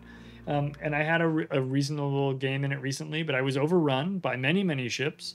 But I was impressed by what the guns could do. But the the bow in armor is not quite as Des Moines as Des Moines is, um, which is kind of too bad. And certainly the uh, the DPM forward is, you know, two thirds that of Des Moines. Let's say, assuming the fractions are all things are equal, which they're probably not perfectly. Um, agree with your sentiment. I mean, Salem's available and it's not much more, right? So for another twenty thousand coal or whatever, whatever it winds up being, you can get a Salem, and if you use a coupon, it's it's three quarters of that. Uh, Yeah, I- I just don't- Right. So I don't think Tulsa's better than Buffalo, and Buffalo's the Tech Tree uh, Tier Nine heavy cruiser, and and Buffalo has a longer range radar because Tulsa has like the light cruiser radar range, for whatever reason, yeah, it's got a um, nine I- kilometer radar. you know, and and so like I I have a hard time you know saying ah yeah this ship is this is why this ship is better or interesting than other ships available, premium or not. Um, I suppose the dream of playing against tier sevens is is the one magic there. But you, as you said earlier, you can do that in Alaska. you good know. luck. You're gonna good luck if you if you if you I said the if you play yeah Here's if the you play this and you play this and you match up against uh uh, uh tier seven good on you uh, uh but when you play this and you Take have to that, shoot a Duke uh, of York. You yeah know, when you have to shoot a when you have to get in a gunfight with a conde in it it's not a good time Yeah, game over, man. Yeah. It's not great. Um, yeah. Uh, Grant does say, "Get good luck getting in Alaska for coal, though." Got to agree with that. Um, you know, you're not going to get in Alaska for free. Uh, No, you're not. And uh, Brand says, "Tough sale, tough sell for the old Tulsa this stream." Agreed. I, I mean, I don't think Tulsa's terrible. I just think there are better choices for not much more coal, right? And Yeah, some I- other better choices maybe for the same amount of coal. So yeah i just as easily i know it's a different tier but just if you want uh, you just get salem yeah, it's a little It's- bit more coal we'll talk about it soon Yeah, we'll get to. Salem shortly. Um, I think I had you kick off Tulsa, but do you want to kick off Carnot too? You've got a lot more games in Carnot than I do. Yeah, so Carnot is a premium tier 9 French uh, super cruiser, again, in that same vein that we've talked about with Azuma and Aegir, right? This is a large cruiser with large caliber guns. Um, the gun caliber is 305. Again, very similar. Azuma's got 310s, Aegir's got 305s, Alaska has like 305s, right? So you can see this is kind of a design language thing, right? Carnot to me always has this look of a cruise ship. Uh, it's a very large ship. It's kind of cumbersome, kind of cumbersome. Yeah, Um, interesting guns in the fact that you see that forward forward battery's got a three barrel turret and a four barrel turret, and then um, in the back you've got a, uh, another three barrel turret if memory serves. So so you you have uh, a ten gun uh, loadout here. Um, reload ma- that to balance that the reload's longer than a Azuma's. Uh, it's got a longer reload. Um, I do I do like playing uh, Carnot, but that's probably a rare thing. This ship came out before the split of French cruisers that occurred that ends in the Marseille. right. Um, and right. so I believe this ship, and we see this a lot in World of Warships. I believe this ship is kind of a test for the concept of what if we made a large French cruiser that has kind of like battleshipy guns. Um, this ship is not as I, I would I would say that I like this ship better than the Tech Line Tier Nine Brest, but it is not better than I just personally like it better than. Um, right. It's hard to uh, compete but- with the reload booster the Techline has, right? And right. this does not. Yeah, have and that's the problem, right? I I like playing this ship at range and kiting as if you're a French cruiser. She does have a Um, speed boost, 20% speed boost. She does have hydros, right? Yeah, and she's got a pretty good HE alpha, although not as good as Azuma's. But I would rather play this ship than Azuma because for me, I'm less susceptible to get uh, citadels in this ship than I am in Azuma for whatever reason. That has French trolley armor that works for me. Um, again, this ship though is big and clunky and not really I don't think very popular at all. Um, No, I- it's it's really have- not. I- it's really not. I have a I probably have a relatively comically large number of games in it for my port, and and I don't have a lot of games in any one ship. yeah. Um, and so I, but I have played this ship a fair amount, and I do like this ship, but that's that's my unique opinion on it. I don't necessarily think it's for everybody. What? Why would you get it? Economy, um, cruiser, captain, trainer for the Marseille line. Um, those are really Right, kind of the only. Re- right. those are really kind of the only reasons I think you would get it. You're from. France, you know. Yeah, you collect reasons- ships. reasons that uh, you would get it. I, Yeah. yeah, I look at Carnot, and Carnot was one that for me, um, for a long time, I was like, I don't know why I would buy that. I, again, I'm I, I style myself as a destroyer main, a destroyer fan, although I do play a lot of everything these days. Um, but and I remember seeing Carnot come out, and I was like, I like that it's got a speed boost, but I don't like that it's the size of Greenland. You know, it's huge, um, easy to hit was my theory. Um, but you do you do tend to see players who take this one out. They stay at range. The range is over 18 kilometers, not quite 19. Um, they'll stay at range. Uh, they'll use a lot of HE in it. You talked about the HE alpha. I think that's definitely a popular uh, Yeah. ordinance to use here. Uh, the AP, I've only played it a couple of times. The AP seems to work. You, you would Yep. you agree? You should use the AP Yeah. at times. Yeah. Yeah, sure. Um, it's got good AP, and it's and the the ballistics are good, right? Because it's French. It doesn't have like sh- right. like really floaty, crappy shells. Like it's it, and the, they're accurate. It's not a dis. It's not an inaccurate battery. It's got ten guns, and unlike the tech line, because it has rear turrets, it's better for kiting away with, in my opinion, than That's the true. kiting play style, right? And so like I like when I've had really strong games in this ship, it's kiting at maximum ranges, dragging people away, much like how I would play Henri, Yeah. um, or or or even Saint-Louis or even Charles Martel. It's just in a much larger, but a much gang- larger form you know, factor. much larger form factor that doesn't have torpedoes, and and has a long reload and isn't really great if you end up in a situation where uh, something's really close to you that has more DPM, right? It's that part of it's kind of frustrating. So it's it's definitely an acquired taste. Um, yeah. I do like it. I do like it better than Tulsa. I would I rather play it than Azuma. But those are probably like probably- those are probably not- two. Those may not be common sentiments, and Azuma's probably a better ship. You think it is? That's interesting to think about. I don't. I don't it know if it probably is. is. I don't know if it is or not. Um, Helmet says French AP is bitey. Flamin' Hooligan says I like that camo though, and I think you were talking about the blue one I switched. I showed also comes in blue. Um, uh, and then uh, Snow says ho ho ho's in Jean Bart, which is true. Uh, Jean Bart, of course, uh, also difficult to get unless you're getting the JBB. Um, but a, another great French boat. I mean, uh, there's a lot of French ship fans out there. This might be one of the lower ones on the list of amazing French boats to get. However, um, for folks who are fans of French boats, it's certainly available. You know, I, I don't know that this one rises to the top of the list either necessarily, but um, it's out there, and I think it does have a couple of secret fans. Um, you know, maybe not so secret, right? You just told everybody you're a fan. but, Yeah. I mean, um, but it doesn't it- have. it a- has- I mean, people are going to be like, "Why not Marseille, though?" You know, and it, it has Brest. more. It has a lot more games on NA than Tulsa. Does it? Well, but Tulsa hasn't been out but as it- long. Yeah. It also has hundred thousand less games on NA than Brest, and Brest has Oh not been out. gosh. And Brest is free. yeah. So well, and the free helps, right? It, it's you know, it, it's right around the Azur Lane Azuma as far as games played, right? It's as Oh, far as tier nine cruisers go, it's not, you know, it's got 120,000 randoms logged. It's not so not overtly popular, but but Tulsa only has 73,000. So it is more popular than Tulsa. Um, Right. but it's not extremely popular, right? Azuma has to, to- for comparison, Azuma has 665,000 randoms logged. Obviously, it's been out longer, but that's a lot. That's like five times as many games. So Right, right. So it's just it just it isn't one that really took off and made people love love. no, Um, No. which is which I guess gives you some some hipster street cred if you go for it. I, what's weird is I think we both, I, or at least I don't, I don't have a dislike for Carnot, whereas I've kind of developed a dislike for Azuma, which recently faded slightly. I got to admit. So Carnot is just kind of what it is, and I, I, I don't know. Um, I think it's an odd boat that doesn't sell particularly well. So maybe Mhm. maybe you'll find out you love it, but yeah, when you're looking for the back of the box feature that makes you go, "Oh hell yeah, I got to get this," I don't know what it is. Right? It's there just isn't one. It's just another cruiser, I guess. All right, I'll talk about Marco Polo. We talk about Marco Polo every time we do this, and we always say kind of, I don't know what this boat's about. So Marco Polo is an Italian battleship. She's got 406 millimeter guns. She's got SAP and AP. She does not have the smoke that makes Italian battleships interesting. And I think that's kind of where the story ends with Marco Polo. Um, nine guns. Let me, uh, I can bring it up on the screen here and kind of walk you around it.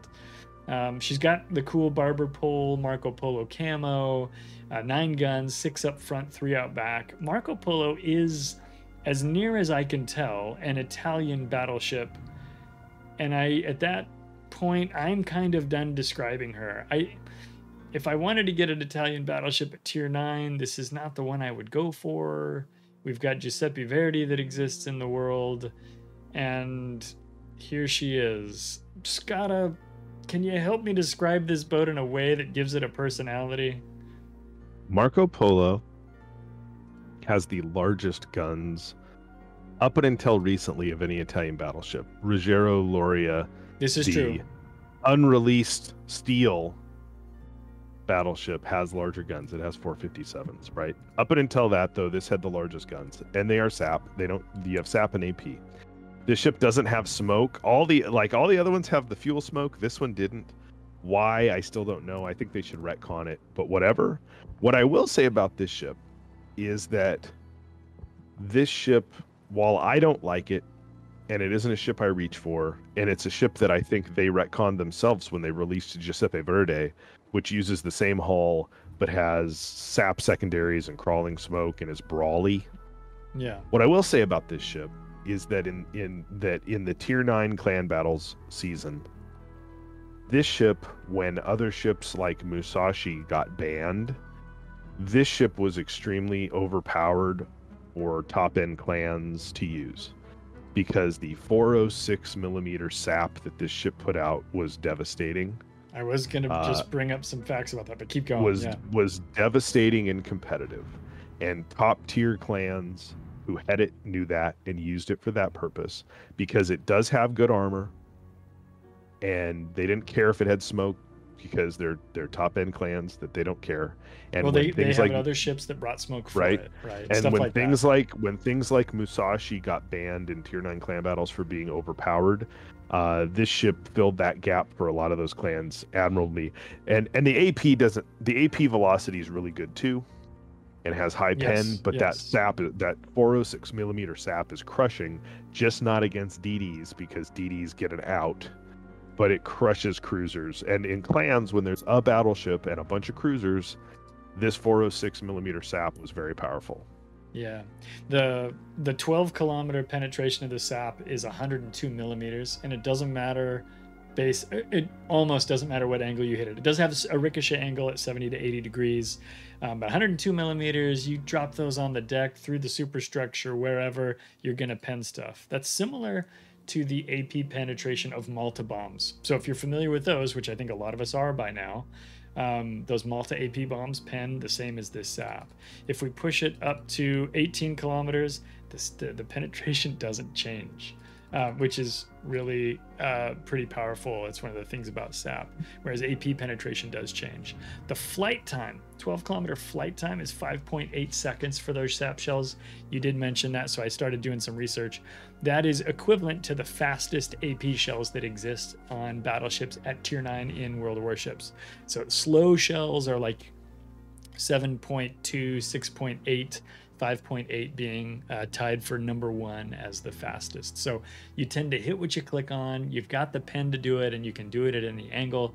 And and I'm glad you brought up the 406 millimeter mains because a lot of those were 380s or 381s, right? That's like what the uh, Uh, the Lepanto is the tier nine there. It's 381 millimeters, and that means you have an extra five or six or eight millimeters of pen. Um, and it looks like it's five millimeters of pen um, with the extra size of the guns, and that can make the difference on the right target. So Yeah. that's that's interesting about the competitive though. Yeah, 1.9 sigma, 96 meter vertical dispersion, very similar to Kearsarge in that regard, um, but with an extremely better shell flight time. And that 406 millimeter sap is really crushing. Do I like this ship personally, and do I run around and play it in, in randoms? No. Um, could I and be fine with it? Probably. Um, I don't play any of the Italian battleships in randoms, though. Spoiler alert. I uh, this one at least has accurate guns. Most most Techline Italian battleships have confetti cannon Sigma. Uh, this one at least isn't that bad, but it just doesn't intrigue me. Um, but again, there are some there are some benefits to having this ship in your port if you're a battleship player.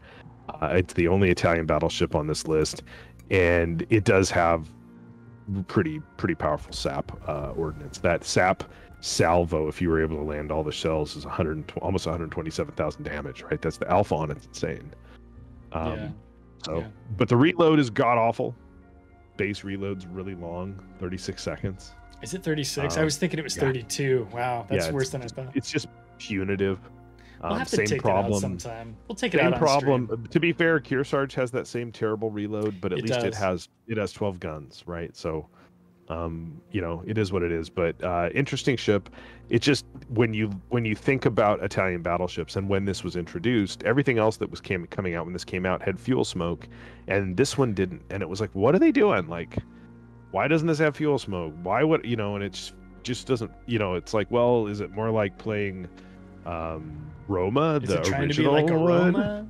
Well, no, because it has sap. Like, and it's kind of, it's just kind of weird, and it doesn't have like a whole lot going on for it. You know, in the consumable department, it is, you know, uh, heal, uh, spotter or fighter plane. Those are your choices. It's very vanilla. So, Yeah. um, but uh, it does have some ability, I think, and I do think like in maybe in a in a in smaller settings, brawling, ranked. I wonder if ranked um, would be a good like place that. to take Marco Polo. Yeah. I think in a situation where you can pummel cruisers with that 406 sap is where it's going to shine, but you're going to be hindered by that reload.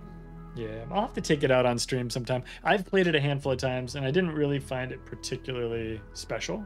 Um, but it's definitely one that because I haven't spent time with it, it's time to go back and try it again, right? I Yeah. I do that every now and again for some ships at least. There's so many boats in the game that it's hard to do it for all of them. But um, Dutch Eagle and Flyer says there's a reason why many streamers have most of the Italian BBs on the chat cannot request this list, um, which I guess I haven't really thought about, uh, but that's funny. Uh, A Dostal says it's easy to spot the Reds just have to shout Marco and then it can't resist shouting Polo back. I'm sorry I read that out loud. Thank you very much. Um, but I think maybe uh, I think maybe that's probably enough on Marco Polo. Definitely, you know, if the things we talked about are intriguing to you, Marco Polo could be an interesting ship. You know, I think Scott are talking about the tier nine competitive uh, thing where that became a ship that got pulled in with other bans occurring. That's probably a fairly rare instance. I don't know that I would count on that and make that a thing that I was buying Marco Polo just in case they ban all my favorite ships. Um, however, I think. Uh, you know having it maybe trying it out in ranked or something is a, is an opportunity so maybe i'll if there's an opportunity for me to take it into tier 9 mm. ranked at some point i'll do that we'll see how she goes Z44 is a tier 9 German destroyer. Clyde, you like playing destroyers. Why don't you tell us about it? I have it up on the screen already. Let me bring it up so the crowd can so the people at home. Z44 now Skada you like this boat. Uh, you liked it first and i tried it and i said not bad because i didn't have it when you first started telling me about it. This was a german destroyer. When it came out everybody said why is there a german DD with no hydros? That seems like a thing i don't want. Um, thanks for the follow there pegasus. Um, and and I think it kind of got a bad rap fairly early on. This is a more torpedo focused destroyer. She does have five guns. Um, you were talking about the AP DPM and HE DPM in comparison to the Neustrashimy a little bit earlier, and how this one's AP DPM. Did you say it was just better or just worse than Neustra's? I think it was just better. Just yeah, I think both of it's were better. Yeah, got, very very know, close. Better, similar reload and five guns, right? And so, like, you know, Mhm. with So- German quarter pen and stuff like that. Right. So like its guns are not worthless. Um, but uh, they're definitely not what it's about. It has a pretty fast torpedo reload, um, which in my build is about 72.3 seconds. That's actually without a commander on there. Let me see. Still, for my build, it's uh, my commander's untrained because I just reset them all. Um, so 72 seconds, you can probably improve that, or you can improve that with commander stuff. Um, mm-hmm. And then again, the guns, I don't think they're useless. I think uh, you do get that German quarter pen, which you just mentioned, which means your uh, HE is going to pen 32 millimeters of armor, which is enough to get through quite a few ships in the game. Um, and then, of course, your AP, German AP, tends to be fairly punchy as well. Um, that's worth doing. 4.2 second reload on the uh, the ship again without a trained commander on it at the moment um, and and reasonably stealthy the concealment i have 6.5 but i again untrained commander so we can bring that down another 10% it'll be just under six kilometers. Um, Scott, when you were first playing this boat and you said i kind of like z44 what was it that kind of helped you turn the corner and you go you know what? This boat's okay for me. What what was the positive there? Yeah i mean you've got detractors what are those two? I, you know, when I when I first got it and was playing it, what I liked about it was that it was it is more, in my opinion, a torpedo focused uh, mm-hmm. destroyer, and I like, um, for the most part, I like torpedo focused destroyers, or I did at that time. Yeah. Um, you know, when I look at my Z44 with with a a captain that's that's designed, you know, set up with a lot of torpedo based stuff. Like I'm running you know concealment and swift in silence and all the torpedo stuff i'm not running any gun stuff on this captain it's it's that's a downside because it's really kind of a unique captain setup for this um, you know that that brings the torpedo reload for mine down to 65 seconds on on 2 by 5 right, launchers with a 12 kilometer range now the torpedoes don't have an amazing alpha they're better than european torpedoes but they're not as good as say like ijn or american torpedoes um, but yeah. I, I think when I was playing the ship a fair amount, and it, it, not don't take this the wrong way. People are going to hear this and they're going to blow up. But like, this to me at the time felt kind of like, well, we have Benham at home. Like mm. people don't, people can't get Benham, which has a lot of torpedoes that reload often at the tier. This ship is not an analog for Benham. No, half so as many take, launchers, right? But yeah, but don't take me the wrong way. But it, because it has about a 60 second torpedo reload and 12 kilometer torpedoes and and and as built for me a 5.9 mm-hmm. conceal um, you can cruise around and chuck torpedoes and play in that fashion right you're playing as a torpedo boat which i enjoy about it i don't play much with the guns but if you smoke up. It does have normal german smokes so not long smokes not short smokes. It does have a speed boost which is nice. Uh, Busta, you know, with eight percent it gets around and does stuff. And and i and i like what it is. When the ship came out extremely unpopular with everybody who knows better because it has no hydros. It's not like the at the time the elbing line didn't exist Right. And right. this was not like the Z52 line. Where's the hydros? I don't understand. And I remember you can go find videos of all the CCs back then being like, wow, this doesn't do what the other ones do. Why would yeah. I ever buy a different right. kind of boat? Right. And, and, what I like yeah. about it is that it doesn't do what the other ones do. There really isn't a this is a this is a torpedo focused German destroyer, and there isn't another one in my opinion. Um, and so I like that about it. Is it the best torpedo boat at tier nine? No, it isn't. Hello, um, Yugumo and friends. Like there's a yeah, Benham, right? there's a bunch of good torpedo boats, right? Sure, sure. But I but I enjoyed playing it for what it was, uh, and I haven't played it in a long while. But if I did, I would still enjoy it for what it is. Um, and yeah, sometimes that's sure. enough. Sometimes that's enough. Uh, but you know, the downside of it, it is not a captain trainer for the Z52 line. Nope. It is not a captain trainer for the Elbing line. It's not you really trainer for any of that. Yeah, for it's a it, or... it's a captain trainer for another tech line because you take your cruiser captain or your battleship captain yep. and you put you put them on it and this is and you make a special torpedo destroyer captain build that you use on this to XP that captain for a non-destroyer line you could Which... be your carrier German carrier captain or something, right? You know, mm-hmm. German submarine captain exists now. It just can't be the Z52 captain or the Elbing captain because the builds are so wildly different. and that kind of that's, that's kind bad, of a problem. It's not really a bad thing though, because it can. Nope. You know, now if rather than having this train your Z52 captain. Maybe you're more of a battleship player. You put this on your Schlieffen captain. You put this on your Lutyens, right? Yeah. And now you're leveling Lutyens faster. Like it, it's a pro and a con kind of at the same time, really. Germany. Germany is a nation that is not replete. Uh, it has tons of tech lines, right? It's it's got two battleship lines, it's got a cruiser line, it's got two destroyer lines, it's got a submarine line, it's got a carrier line. You've got plenty of need to train tech tree captains. You you if you play all of those, you certainly have a captain that can be torpedo focused that is for this dumb boat. Just like totally. I would say if you so have easy. ZF6, the former uh, dockyard destroyer, you would probably have a special ca- captain for it.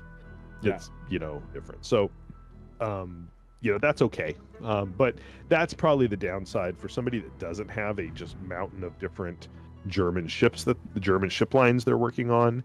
They might struggle if they're like, I'm playing I'm playing the Z52 line and I got this boat for coal and you know you're trying to use more of a hybridized captain build on it or you're using a gunboat captain build on it from the Elbing line and that doesn't make sense here and that would be a problem. That would really make this yeah. boat you would not get the best out of this boat. Agreed. Yeah, it is. Eh, you know, we've been talking about how it's different, and that means it needs a different captain because it's different enough, right? And so that is a thing. Again, you know, looking for that silver lining, you can use it to train your Hindi captain, your Schlieffen captain, the captain destined for anything but Z52 or Elbing, and you'll be very happy in that way. But if you're again, like you say, limited uh, on those lines that you're working or interested in, then yeah, you know, you're going to be. Um, you're going to find that it is different than your other German destroyers. So, mm-hmm. um, so that's Z44, Skada the Pommern.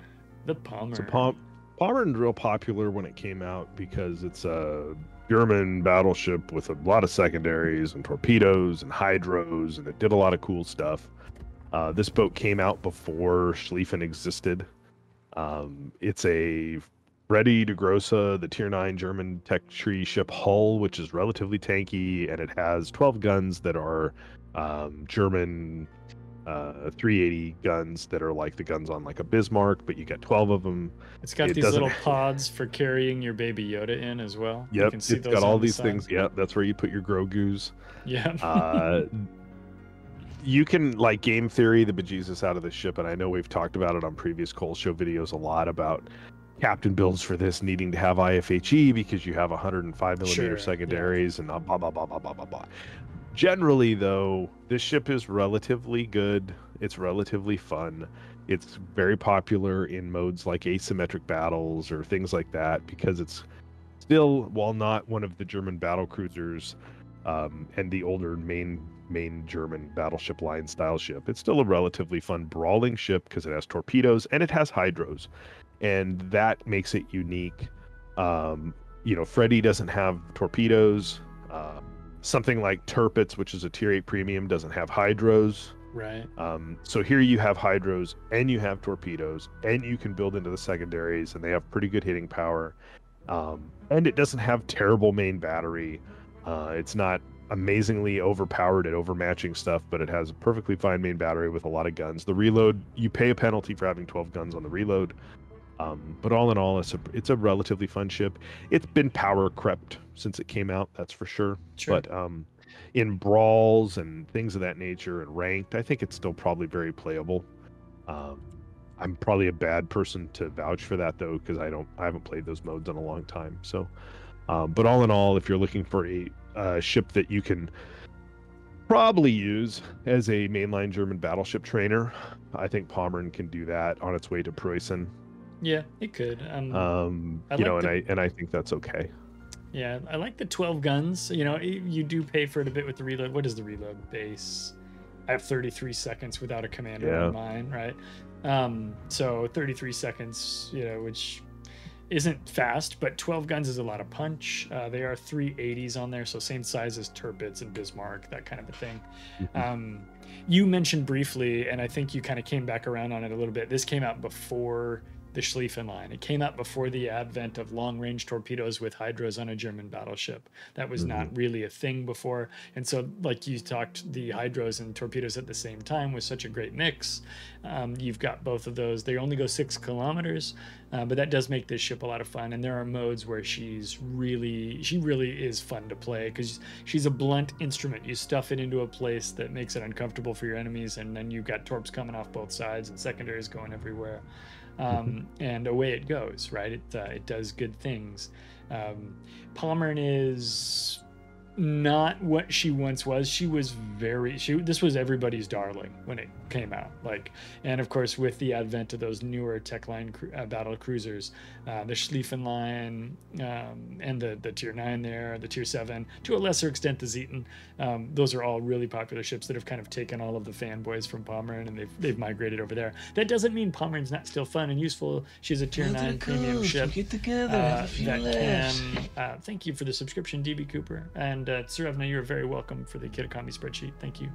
Um, and then she she's still a tier nine ship with all the improved economy and that kind of stuff. She's a captain trainer for Preußen, like you said. I, I think Pommern's uh, is a fun boat, and I think there are modes where she gets to be brought back out again, and people enjoy those memories with her again. You know, and and, and you can still play it in randoms too. I'm not saying you should avoid random battles with this boat, but.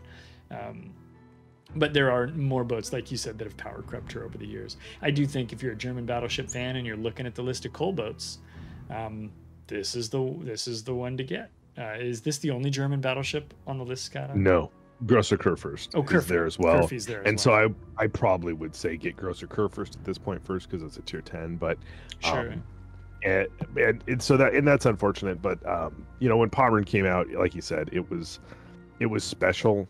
It was so sp- and everybody loved it. So it much. came out at the same time as a tier 9 brawls 3v3 season and i just used the bejesus out of the ship and this ship and that and it was so good it was so good because you could pick up guys with hydros and the with ifhe the secondaries would melt 32 millimeter battleships uh, and and then when they had to push into you because you were just trashing with secondaries you had the torpedoes and it was just so much fun um, and i'll always remember that about it and never regret the purchase of it because of that You'll always have but- Paris, you know, like right but nowadays your love affair with. you know nowadays it, it just then like you know like what is it like prince ruprecht the tech line Rupert battle cruiser so one good. it's not as tanky as this but it's just right. better it's just better probably and Better so range torps, better hydros, Better- I think. better main battery um more secondary hitting power much better concealment you know just on and on so um it is what it is it's a ship of a time i i don't think it's a bad ship to go get if you're interested in in a brawly german battleship playstyle obviously wearaboos be wearabooing but um it's not what it once was whereabouts or in the whereabouts of the uh, of the Palmer. Um, so this is our last page of tier nines. We're about to jump to tier tens. Um, usually we go, hey, if you could pick three, what would they be uh, from the tier nine list? I can show you both slides if that's helpful. Um, but on this list, it's Pommern, Z44, Marco Polo, Carnot, Tulsa, Kearsarge. And then the previous page is Black, Neustrashimy, Groningen, Aegir, Azuma, and Iwami maybe you want to pick like one or if you have all three you can show shout them or we can go like one by one Yeah. I, I don't know what do you I, think if, I, I'll just pick three. I'll pick one from each class because we only represent three classes at this tier. So, um, as far as the destroyers go, I would take black, even though it's expensive. Um, I Mm. I think it has the it's the most fun to play and has the most utility, and can be used for the most stuff. Um, as far as the cruisers go, I'd take Carnot because I like Carnot the best out of those tier nine cruisers. Uh, I don't like Azuma, and so I hang on it's like... it's Aegir, Azuma, Yeah. Carnot, Tulsa. That's the four that you're choosing. Yeah, from. Tulsa can suck it. Aegir, I might take Aegir over Carnot, but I'd rather just I'd rather play Carno nowadays than Aegir. Um, Yeah. and I don't want to play Azuma. I never enjoyed playing Azuma. I just get dev struck in that thing. Uh, and as far as the battleship goes, So it's Iwami, Car or Wami Marco Polo Pommern. it's hard for me not to pick Pommern because of sentimentality. Mm, Um, I think I don't know. Kearsarge is probably a oh, better Kearsarge too. I battleship. Kearsarge. Kearsarge is probably a better battleship nowadays. I don't think a lot of people like Iwami, but I've played a lot of Iwami. So Mhm. I don't know. I, I guess I'll still pick Palmer just because of sentimentality, but I don't know that it's the right pick. no, but that's a, that's a good way to talk about this, right? Because like we talked at the top of the stream about how we want people to pick stuff that's fun, or in this case was fun. You had a lot of good games, a lot of good memories in the boat. Whether or not it's necessarily the most current pick uh, is a great question. Um, you know, looking at the same list for destroyers, I can't disagree with you. I have to go with black. Um, I like Neustra a lot, and I've actually really enjoyed Groningen um, recently. Um, Z44 uh, is also on the list as well. It's just on the second page. Um, this is the they're or- sorted by price, and Wargaming sorted them. I should have put all the DDs together, but that would have been more work. Um, but yeah, I think I got to go with black, irrespective of price. Um, Groningen is probably the next most influential boat if you're trying to like influence games, things like that. The Hydra is really strong. Things like, eh, uh, you know, you're giving up torpedoes, so not everybody's going to go for that. Um, I really like Neustra. I'd probably choose Neustra before Groningen. Um, and then I'd probably put Z44 last. But I actually like all four of these boats well enough to be happy playing any of the destroyers on this list. When I switch to the cruisers, I kind of have the opposite experience. I'm a light cruiser guy. It's kind of the thing I enjoy to do. So when I look here and it's Aegir and Azuma, and then we jump to the Tulsa and um, Carnot page, I'm like, well, where's my light cruiser at? There just isn't one at uh, tier nine that we have in the coal ships list. I'd probably go for Aegir, I guess, but honestly, I would just choose another destroyer because it's me. uh, we'll take another destroyer then. I Yeah. chose one of each class because I didn't care, but like I love I that idea though, so that's why I wanted to try it. I could just as Um, easily be like, eh, I like Z44 better than any of those. groups. Yeah, But I, yeah. I actually probably like Carnot better than that. Yeah. I, I bet you do. I think you do. You know, having had this conversation with you a number of times.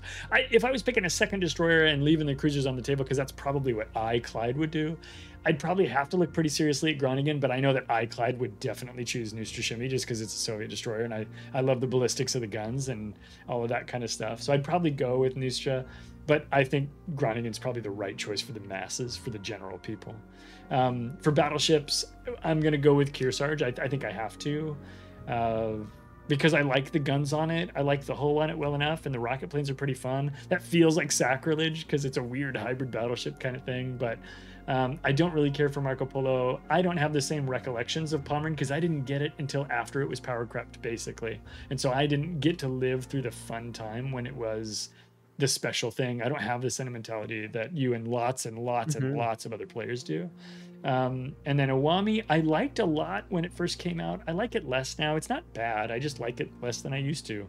Um, I had a lot of fun with Iwami when it first came out, and sometimes I struggle a little bit with the guns to make things happen. I think that's a Clyde problem more than it's an Iwami problem, and it has to do with angles of targets, things like that. Um, so yeah, for me, black. If I I'd skip the cruisers and just get a second destroyer because it's me, I'd get a I'd probably get Neustra. Groningen's probably the right answer, and then I would Right. Well, then you could just say you'd get Groningen too. I, I could And say, that. but I like "Hey, I just well rather enough. get those two destroyers. That's fine too. Well, I mean, I mean, Groningen's the right answer over Neustra. I'd still get Kearsarge, I think, because I think Kearsarge is that much fun, personally. But Yeah, and I and I agree. Chat, you know, and pointed what's out. chat saying? Kearsarge I've, is I've probably been the- talking, not paying attention. Uh, chat pointed out that Kearsarge is is the best of what's available as far as Oh, battleships see. go, and and I think that's I think that's probably true. Um, it might be um, I, I think in I think today's it's- meta and I think everything it's too. relatively good. It's it's just a good battleship, and then it has the plane gimmick, um, which is fine. Yeah. Mm-hmm. Mm-hmm. Uh, yeah. Black requires teamwork to work. Uh, Mother says it's a selfish second line destroyer. Yeah, I, I think some of those things are definitely true. I don't feel that way at all about Black. Its concealment is it isn't a second line destroyer. I don't You think it's take- second you- line. I but go I take it's- caps with black, and I don't. I, second line destroyer is a Khabarovsk. I I go take caps with black and take fights with other DDs. It's not a second line destroyer. Uh, I don't. I did. I was really grasping with the uh, selfish piece, right? Because you just smoke up and radar and do whatever you want. You can. You can. The thing about black, and and I think somebody in chat said that like you need help from your team. I don't know. You got your own radar. You got your own smoke. I think you can kind of go and solo warrior things as long as it's you're not too outnumbered. Um, but you know, I mean, your mileage may vary. It depends on playstyle and, and comfort with that kind of playstyle as well. So I, I like that we're having this conversation in chat, though, guys. Keep it coming. Um, okay, let's take a look at some tier 10s. Uh, we're going to go to our first page. We have two pages of tier 10s. Uh, the first one up is Salem. Now, we talked about Salem earlier, and how if you're going to get Tulsa, let me go back to that previous page. Tulsa costs 228,000 coal for 12,000 more coal. You can get Salem. So um, that would be my recommendation. Salem has uh, more guns. It's got uh, a better bow armor. The radar, I think, is only eight and a half kilometers instead of nine. Am I right on that or wrong? Chat, fact check me. Um, and so Salem's Yeah. pretty strong that way. What she doesn't have the ability to do, and this is something that people need to remember, if you like Des Moines and you have Des Moines, uh, Salem does not have the ability to take both radar and hydros, if my memory serves correctly. Correct. They're in the same slot. Yeah, so you're you're down one there. Uh, Scott, uh, Salem thoughts. What do you what do you think? This is a long, long time uh, coal cruiser. Yeah, Salem is again. It's a sister ship to Des Moines. It's that same class of ship, right? So you have the same uh, wicked main battery. You've got great bow taking capability. Um, like you said, it has an eight and a half kilometer radar, which flat sucks. It's in the same slot as Hydro. I'm of the opinion that you take the Hydro and you forego the radar because of that. Um, Yeah, I think I- in I most agree, I think. I think in situations you're better off having the Hydro uh, personally. But again, it's not bad that it can have radar. Um, but if you're gonna hook yourself to an island and do the whole bow in like Des Moines style play style, it's nice to have radar to pick out a destroyer. But at eight and a half kilometers, you're almost better off having the Hydro to protect yourself from torpedoes and such. Um, it's got defensive AA. It has, uh, but it, you know, its claim to fame and what makes it different is that it has specialized repair teams. So again, it has that zombie heal, that that conqueror style mega heal. There's only a couple of U.S. cruisers that have that. The other one's Boise. Mhm. Um, also, the Pan American version, Nueve de Julio, has that, right? So it's just really strong heal and it keeps it alive. Relatively good concealment, great guns. Everybody knows, you know, if you like American guns on cruisers, the reload and everything is sick. The AP is great. The HE is great. Um, and again, it's a it's a powerful ship in regards to that playstyle. Do you go get this if you already have Des Moines? Um, yeah, I mean, I have it and I have Des Moines but it wouldn't be the first coal boat I would go get if I already had Des Moines. Because again, Des Yeah. Moines lets you have hydros and it lets you have radar and it's a 10 kilometer radar. And Des Moines is the one that you're going to see used in competitive. Um, Salem less so uh, because of that limitation. Um, you're you're trading the ability to have hydros and radar uh, for that mega heal. The mega heal's great. Um, so that's Yeah. just a, a choice the player has to make. But all in all, it's a it's a fun boat, and if you're gonna spend the coal, don't spend it on Tulsa. Just spend it on Salem. Totally agree. Um, I want to show chat something real quick. We'll jump over to the the game client. Um, this is uh, my my Salem. I've got a commander on here who is trained, and it shows the eight the hit points per second for the specialized reta- repair team is 1,084 in my build. I think base it's like nine. It's just under a thousand, like 990 or something. Um, when you put this signal on, which I haven't put on yet, so here it is, t- uh, 1,084 hit points per second. You put that signal on, it jumps to 1,300 hit points per second for 20 seconds, right? So you're talking like 26,000 hit points, which is really, really impressive. I like to comment. Uh, I liked actually two comments from chat. I want to go grab. Who Jam said, "Wargaming make t- tier nine cruisers great. Alaska just can't be the only one." I agree. Let's get some better tier nine cruisers out there. And then I liked what Mother Oni said, uh, which was 8.5 kilometer radar. The hydro is more useful than the radar. If something is that close to you, you're about to be torped. Uh, so you might as well take the acoustics instead. And I, I definitely agree with that sentiment. Um, I think again, Salem's one of those boats. It's one of the early coal boats. I think it might be the first. eh, I'm gonna back off of that statement. I think it's one of the very first coal ships. I can't remember if it was the first coal ship. I think it might have been though. Um, But it's been around for so so long. Um, a lot of people have it. Like you said, in competitive, people are going to take uh, Des Moines because they can have both sensor packages. But if you don't have Des Moines yet, if you want to test out that line and you're comfortable with high tier play, um, Salem's an okay ship to add to your port, and it's better than Tulsa is, and the cost is not that much more. You can get 12,000 coal in not that long if you're uh, comfortable waiting a little bit longer. Strong ship, worth getting. Do you need it if you already have Des Moines? Probably not. Remember, the reason we buy coal ships, th- there's there's a couple of things, right? You buy coal ships because you want a different ship experience, You- and it should bring you something new that you don't already have in your hand. This is Clyde theory. You don't have to agree with it. Um, but if you buy something, you can also spend coal on things like commanders, right? If you spend your coal on a 175,000 coal uh, unique commander, that's going to make a lot of your ships better or different or special. Whereas a ship should bring you something special all by itself. And so if you're new and you only have a few premiums that are high tier and you already have Des Moines, Salem's probably not the first one I would send you down to the store to get. I'd, get, I'd say get something that's going to bring you a little more variety. Um, Mhm. But uh, certainly don't let me tell you how to live your life. If you want to go get Salem, feel free. Yeah, and it, and again, it can be used as a captain trainer for that line. Yes, Uh, it's a brilliant. Very content. very Yeah. easily. It's I don't I can't imagine it's not the same build, and for the most part, and so you can use it as a captain trainer for the Des Moines line. So even if you're working up that line, you're on Pensacola, you're on New Orleans, maybe you're even already to Baltimore. Um, but you want to, you know, get another ship that you can play tier tens with as you work towards Des Moines. This ship will let you do that. Yeah, 100%. Yeah. Salem. Uh, Razid, I was in chat. Razid makes a point that he plays DM with reload and Salem with extended range. Skada does the same thing. Razid, Skada has his Salem. Salem, even though it's counter to the stupid radar situation, Skada plays his Salem with uh, with range on it because he doesn't want he and hy- I play it with hydros for sure, but I play it with range on it. Uh, even though it's if you really want to be a goofball, you put range and spotter plane on Des Moines, and then play that that way, and don't play it with radar at all, and be a jerk in randoms. But Yeah. that's neither here nor there.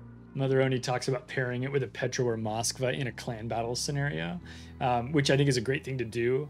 Um, I really like Salem for uh, ranked because the when you're survivability Salem, right, with that super Yeah. heal and everything, um, you're kind of more on your own in a ranked battle than you are in a clan battle, and so taking that survivability is going to make you a little bit more durable in a battle where you might have to carry and sometimes in, in ranked you got to carry with your hit points because somebody went and potatoed off into a corner and now you're carrying their weight too right so it's it's a tough uh, a tough thing to do now again just you know as we often remind people we are not competitive turbo chads in here we're pretty regular guys um, but uh, we've we've we've tried to think a little bit about some of this stuff so certainly share your Yep. thoughts as well Skada Hayate, tier 10 Japanese cruiser. Now this thing used to cost 2 million free XP.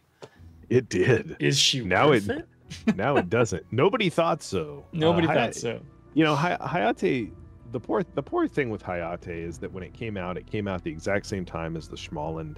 Boy, they that's a both tough. cost- that's a tough. They thing. both cost two million free XP, and one of them is banned and ov- overtly competitive and powerful, and the other one's Hayate. And so, um, correct.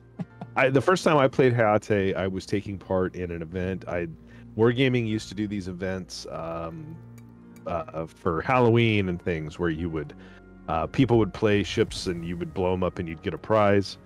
Um, and I think it was either a Halloween version of it or a Thanksgiving version of it. They don't do that anymore because board gaming lacks mirth and merriment in their modern iteration. But um, Yeah. I, I, understand those people- events were a lot of work, but they were a lot of fun too. It is They would they give- all of the volunteers who took part in those events were given press accounts. And the first time I got to play Hayate was using a press account because it was on there, and I didn't have it because it cost two million free XP, and that was crazy. Um, and I, remember and I, asking and you I thought, hey, I was curious. hey, you're like, and I played it, and I liked it. Um, Yeah. you know, I, it's it's it's a different play style, in a way, from the Shimakaze and the Harugumo.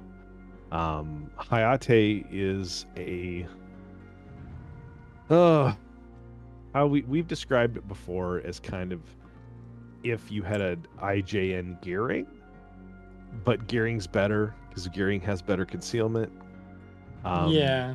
It's kind of gun- like you took some of Harugumo and some Yeah. of Shimakaze and you put it together and you didn't get any a thing that was quite as good as either one. Nope. But it has some Yeah. neat capabilities that almost work together, but don't quite work together as well as I want them My to. my biggest grump about Hayate, as far as being interesting and an interesting meld of Shimakaze and Harugumo, is that it it has you know Japanese 127s like Shimakaze, but it has a usable reload to gunboat with closer to Harugumo. It has torpedoes more like Shimakaze and less like Harugumo because it has a couple racks of torpedoes. You can actually take torpedo reload booster on it or smoke which is more like the torpedo line than the gunboat line and yada yada, right? It's kind of how do you merge things. But where it loses out is that it's a massive ship. It's just gosh darn gigantic. And it has a god awful concealment. As It built like built for concealment. it's six point one, right? So it gets the Harugumo concealment, not the Shimakaze concealment. I have long Takes after its mother that way. I, I have long been of the opinion that you could improve this ship and make it more popular if it had a 5.9 concealment. And that's not even a huge buff. It's Five not a huge buff. Come on, Put it Wargaming. between put it between Harugumo and Shima, and I think it would be more interesting. And for whatever reason, it Yes. is what it is, and nobody plays it. Um, it's not extremely fast. It's not extremely maneuverable. It's it's a whole lot of things where you can make a list about this ship and go, well, it's not as good at Shima as this, and it's not as good as Harugumo as this. So why does it exist? Um, Yeah. Now, you know, and that's kind of a bummer, right? I like it. I wish it was a. I really wish it was the best of both worlds, right, right. and and not just one of the ships in World of Warships. Yeah, and it's more the latter for sure. Now, for you know what's what's you know uh sorry, I'm I'm trying to I'm trying like five sentences simultaneously. I should do them sequentially. That's how communication works. Um, Brand said Hayate is great into the chat earlier. Um, Seething Stoic said I got one from a Christmas crate, but I seldom play it. Um, you know, so we're getting some comments. People have experience with this boat. Whereas if we had talked about this two years ago, everyone would be like, "Tell us, Clyde, what's it like?" Like now, people have it, right? And people know about the ship, and they have formed an opinion. Um, the thing about Hayate is, like you say, she's almost good at a lot of things, but she's not quite good enough at a lot of things too. If you like Japanese boats and you're interested in a challenge, and I say that seriously, I'm not joking. Um, pick her up. She's not hard to play, but she doesn't play the game for you. You have to do it. Like you have to make sure you're playing Hayate well. You can't just play a destroyer well.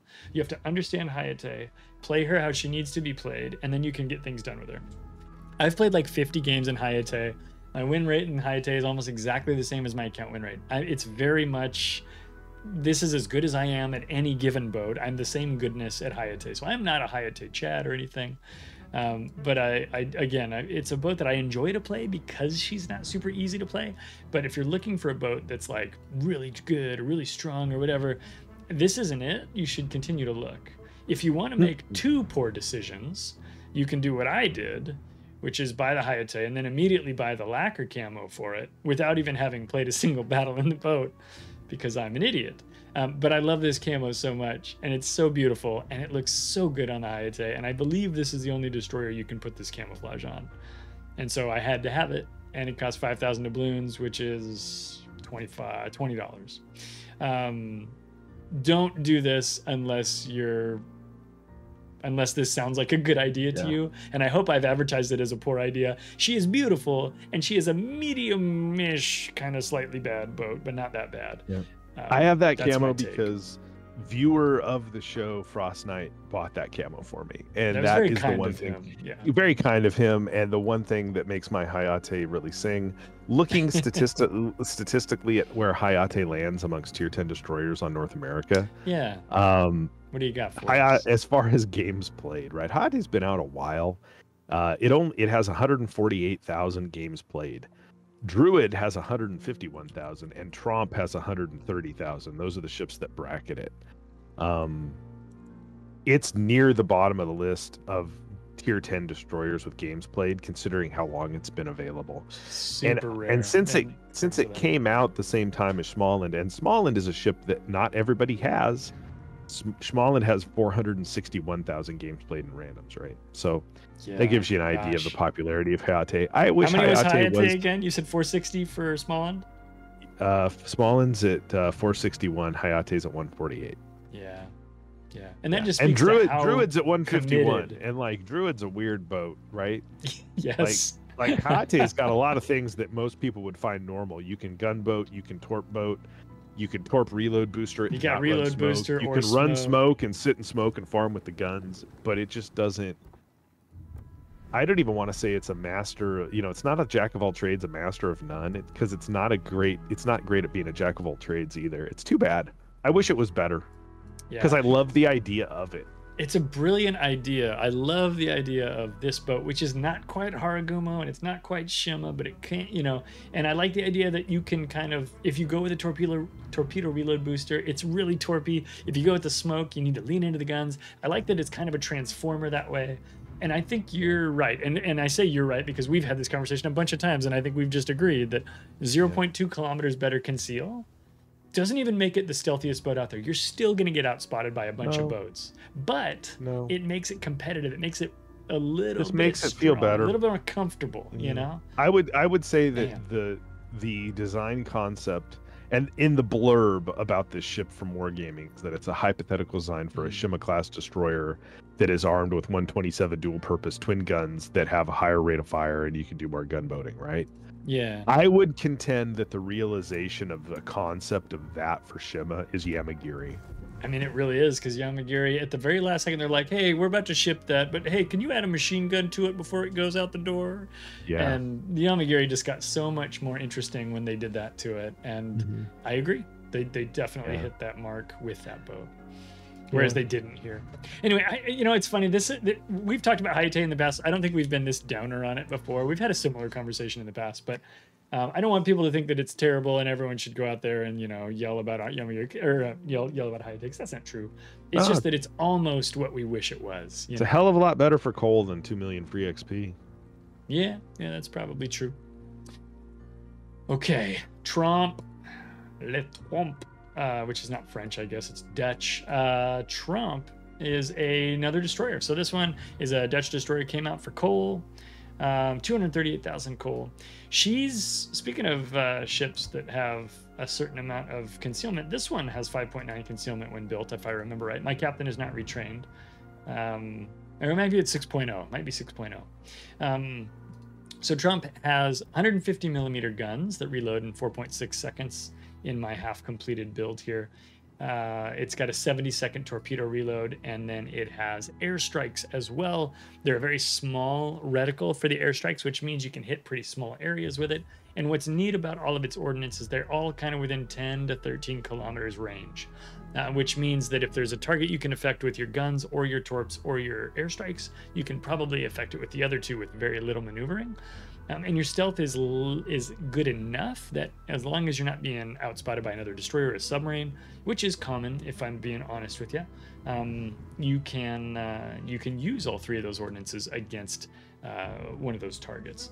Um, she does have smoke, or no, she doesn't have smoke. Excuse me. She's got a speed boost, and it's a 25% speed boost, which is a good thing because the ship is incredibly slow without it, and so you need to be using that speed boost whenever you can. And then it's got a defensive AA fire. Skada, Tromp thoughts from your side of the table. I, I kind of like Tromp, but I acknowledge that she's a little bit weird.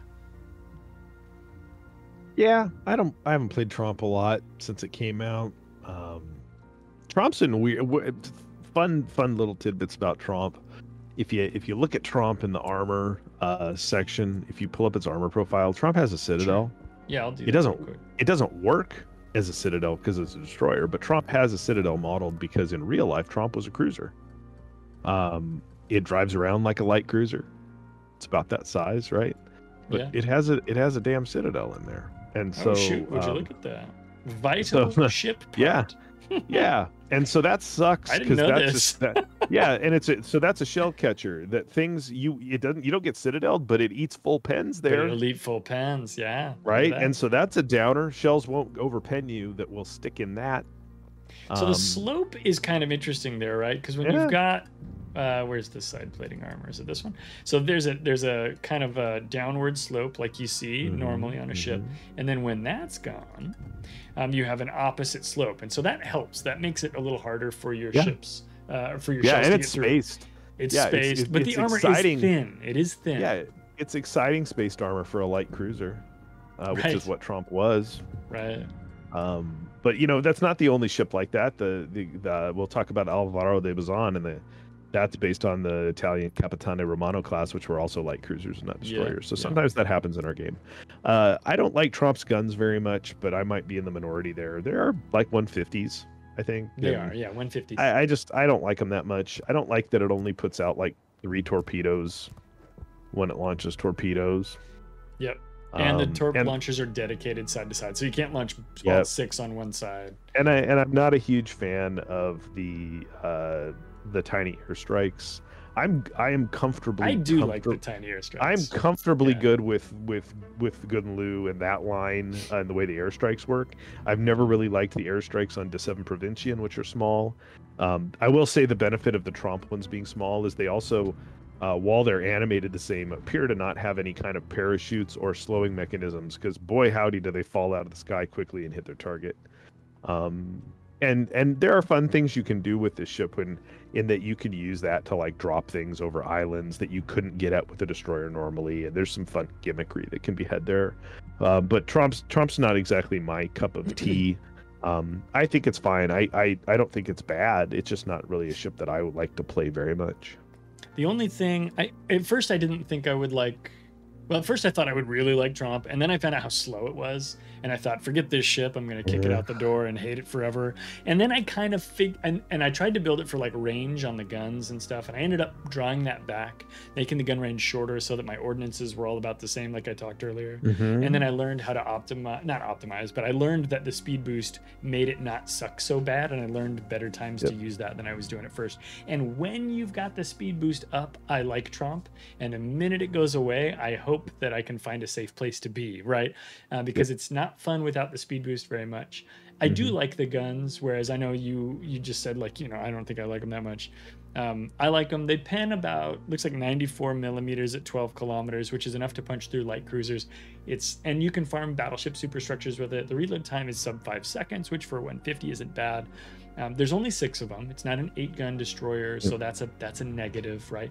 Um, I I think the guns are fine. I don't think they're like Yeah. world beating. They're not going to change the way you feel about the Dutch Navy, but um, and then Mother Oni in chat Yeah. makes a point about the guns and the caliber, and that's exactly why I don't like them, Mother Oni, because I lost a a I lost a one-on-one knife fight when I was full health against an Ostergotland that was full health, and I didn't feel like I should have, but I got trashed by an Ostergotland um, in Tromp because his shells annihilated me in comparison, and so yeah. I'm I think when I when when I've had fun in Tromp, it's in a div where maybe somebody else smokes, and then I could use the guns to smoke farm on like a battleship or something like that. I think they're okay there, but I I just don't I just don't. There's there's just bad experiences I had playing Tromp that make me not like it a lot. And one thing Yeah. I'll point out really quick before I throw back to you is the reason go you like the speed boost is because it's not a normal speed boost; it's an emergency engine power, and it gives you a 25% maximum engine speed boost, not 8% like most speed boosts, right? Yeah. So maximum engine powers are awesome. Not a lot of ships have that. Småland has that. Um, it's insane. Like that's a real legitimate like game changer, and it runs for a minute. And and and I'm sure you have a speed boost module on your Tromp. I know I do I do. um, yeah. to stretch that out, right? So that's a real speed boost thing that makes something happen for you and makes the ship a lot more playable. And when that goes away, it feels like you're in a little plotting cruiser again. Yeah, so I'll, I'll bring that up real quick. The top speed, if I take off this signal, 33 and a half knots. My captain's not trained, but that doesn't affect speed. So 33 and a half knots, that is very, very slow. And I, I've got a hot take video about this one. If you're curious about Tromp, you want to know more about it, you can check that video out on my YouTube. It's where I go into detail on it. Um, and I do have a speed boost module because that gives you a 30% longer action time, which for me is 78 seconds, right? So 78 seconds with signals and captain's perks would go up a little bit more because I think this one right here. Yep, that one's going to give me another 10%. So that's another almost eight seconds. So you can make that speed boost run for a long time, and you really want to if you do this. This show's not really about builds necessarily, um, but like talking about Tromp, like the speed without that is so poor, and with it is so good that you want to opt. At least I wanted to optimize for that because that makes the ship enjoyable. Your comment, Yeah. your discussion back and forth, kind of with with Mother Oni's comment, I agreed. Right, it sucks to get into a knife fight with a DPM cruiser or DPM destroyer, or even an Ostergotland, which has reasonable DPM and a heal. It's a bad situation. Um, and so, yeah, you, this is for farming and hitting big targets. You got airstrikes, you got a few torpedoes, and you got 150s, and um, and there are certain fights that are not good for for uh, for Tromp here, but. But I think that's probably a pretty good roundup on this one. I don't think Tromp's terrible. Um, I'd probably hmm, well, we'll talk about which I'd get first later when we get to the end of the tens. But um, let's jump to Alvaro and have you walk through Alvaro de Bazan. Alvaro de Bazan was the first uh, Mhm. Spanish destroyer introduced in our game. Still is the only one, as far as I can recall. I think so. Uh, again, tier 10, based on the Capitani Romani Italian destroyers. So this is like the same hull as the Italian tier 10 tech tree uh, Regolo. It's the same hull as the uh, Paolo Emilio. Um, might, those might be the only three ships that are using this hull. I don't think there's I anybody think else it's right now. Those three. I think it's those three. Um, it has the same uh, guns as those, the same turret layout, different characteristics because there's no sap. Again, uh, in chat, Brand points out it's humongous. Yeah, in real life, this was a light cruiser, and this is as big as one. Um, the Spanish one here, the Bazan, has the lowest concealment out of all of them in game. Uh, you can build this uh, built for concealment. Um, I think it's what like 6.2 yeah, I think it's low uh, six. something in yeah. something in that in that ballpark, which is fine for tier ten. It's not epic, but it's not bad for what I would consider a gunboat. Uh, this ship has the Spanish uh, gimmick of an auto loader uh, mode for its main battery, so uh, you can you can either fire the main battery, which I think is going to pick up a buff here really soon, which brings the main battery reload down to like five-ish seconds instead of six-ish seconds. Is that Yeah, right? It's, it's coming down, I think, 0.6 seconds. I think it's coming Yeah. from something like that. Yeah. yeah Um, so like you know like you know it, that's nice more, more main battery reload on it by default is nice and then and then if you use the is it a is it a i haven't played it in a while. So when you use the burst fire i can't remember if it gives you three salvos or two. I think it's three.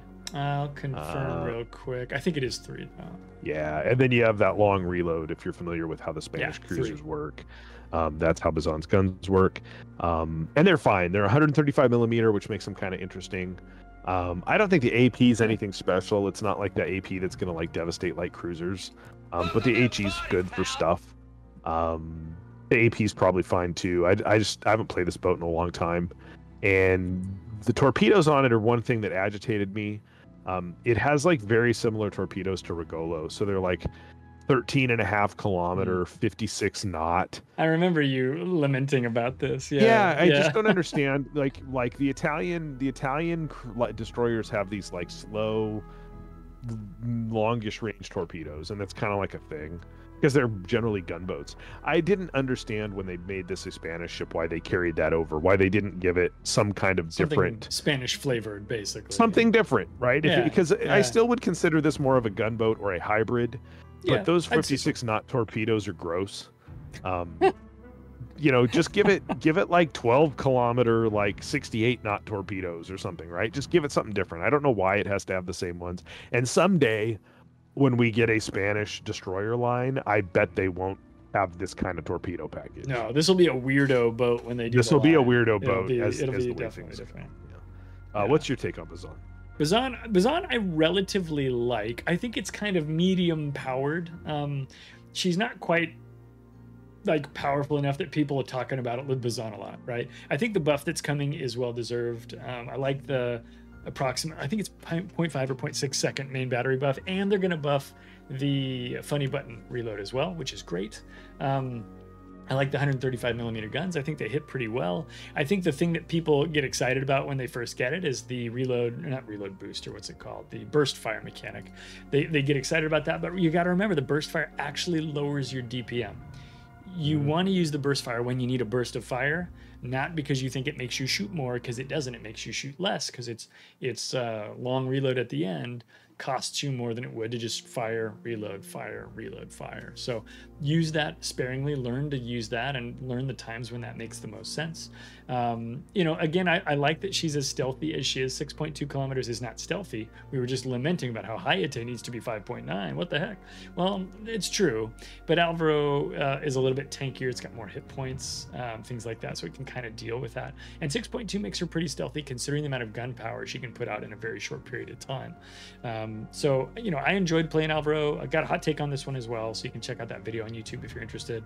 Um, you know, again, I, I think she's an all rounder. I'm hopeful that the buff will help. I don't think it's going to turn her from a boat that nobody played to a boat that everybody can't get enough of. I think it's going to help make her a little bit more um, a little bit more competitive. And I say competitive with a lowercase c, like in random battles, ranked Yeah. battles, things like that. Um, I don't think it's going to make her a, a King of the Sea ship. That's not likely to happen. But Yeah, just I mean mechanically amongst all these these these um tier 10 coal ships um you know, it has the worst AP DPM of the destroyers. It's actually worse than Hayate.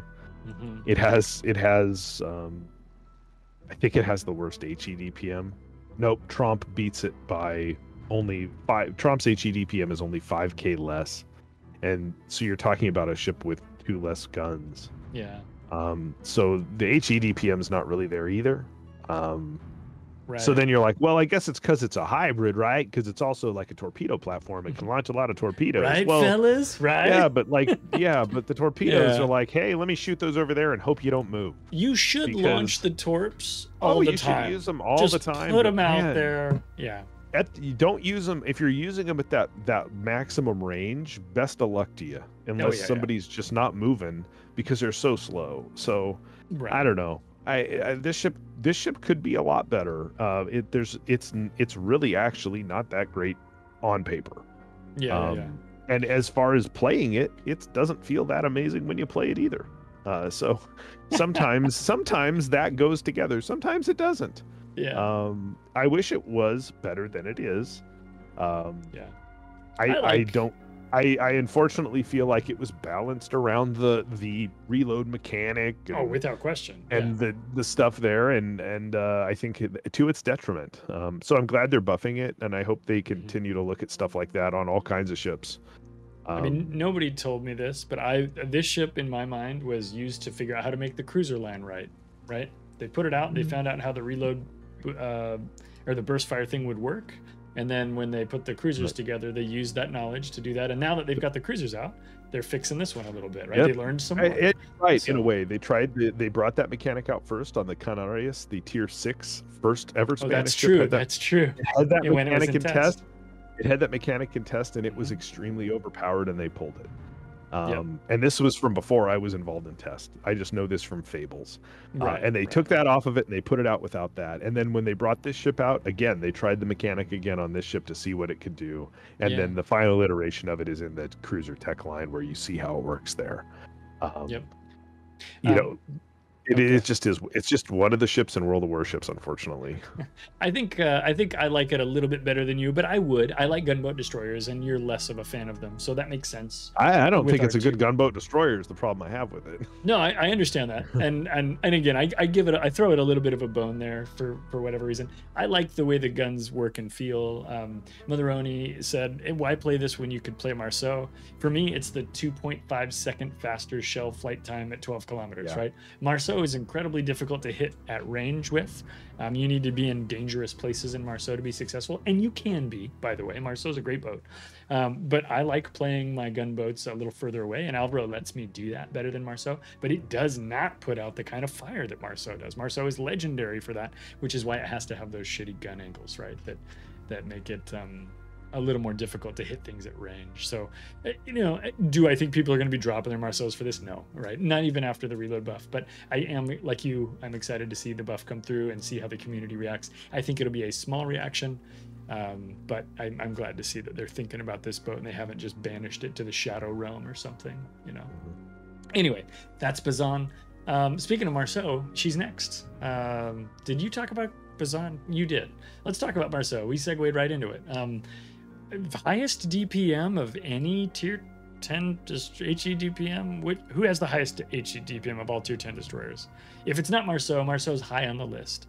Um, I'll look that up here in a sec. But Marceau, uh, lots of guns that shoot very fast and do lots of damage. She's got uh, torpedo launchers uh, that go nine kilometers, uh, which is a kilometer longer than those on Kleber. Um, she out DPMs Kleber, but Kleber has high velocity fast shells. Kleber being the tier 10 tech line French destroyer. Um, Marceau's uh, really great. Uh, I like it less because, like I said just a second ago, I like the high velocity shells. It makes I hit more with them, right? Um, and and I like hitting more often. And so for me, I tend to choose Kleber over Marceau.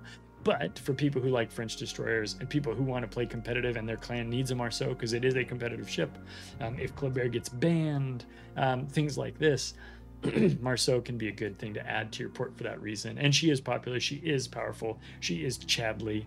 Um, she is competitive. Um, Scott, Marceau thoughts while I look up uh, her DPM and make an announcement in chat. Yeah, um, because it's a uses the same hull as Colbert, it has the French damage saturation, which makes it a lot stronger, even though it doesn't have a heal. Right, it, it takes damage saturation better. Uh, Marceau actually, because of the dual purpose turrets, these are the same turrets that are on Colbert, the light cruiser, and it right. gives it a really high AA rating. So it's actually I've shut down a lot of planes with Marceau before. It's actually a pretty good AA play platform for what it is. I believe it also has defensive AA as a consumable because of that. Um, yeah, and it does. It has a speed boost, which is very French. Um, I like Marceau quite a bit. Between the two, I agree with you that Colbert's guns are easier to use because of the shell velocity, but Marceau has so much higher base reload.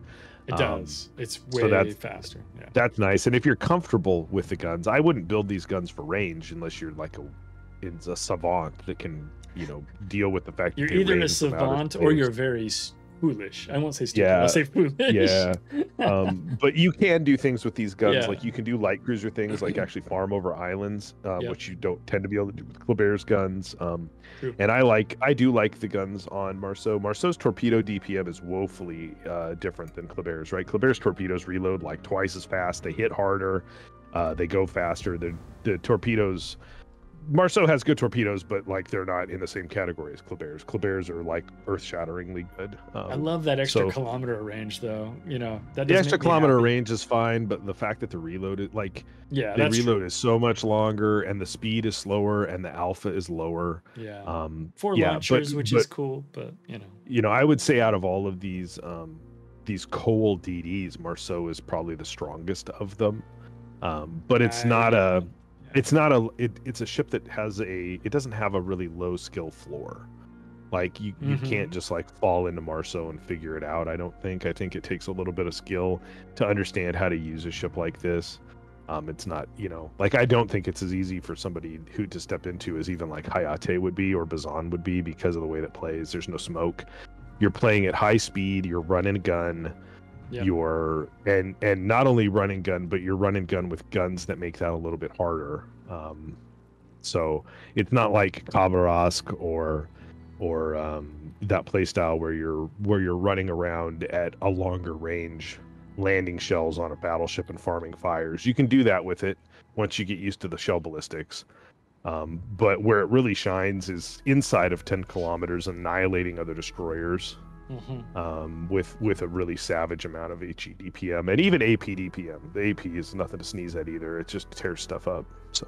Well, and once I think it's a I think it's a fun ship, but it's not a, it's not a super easy ship to fall into.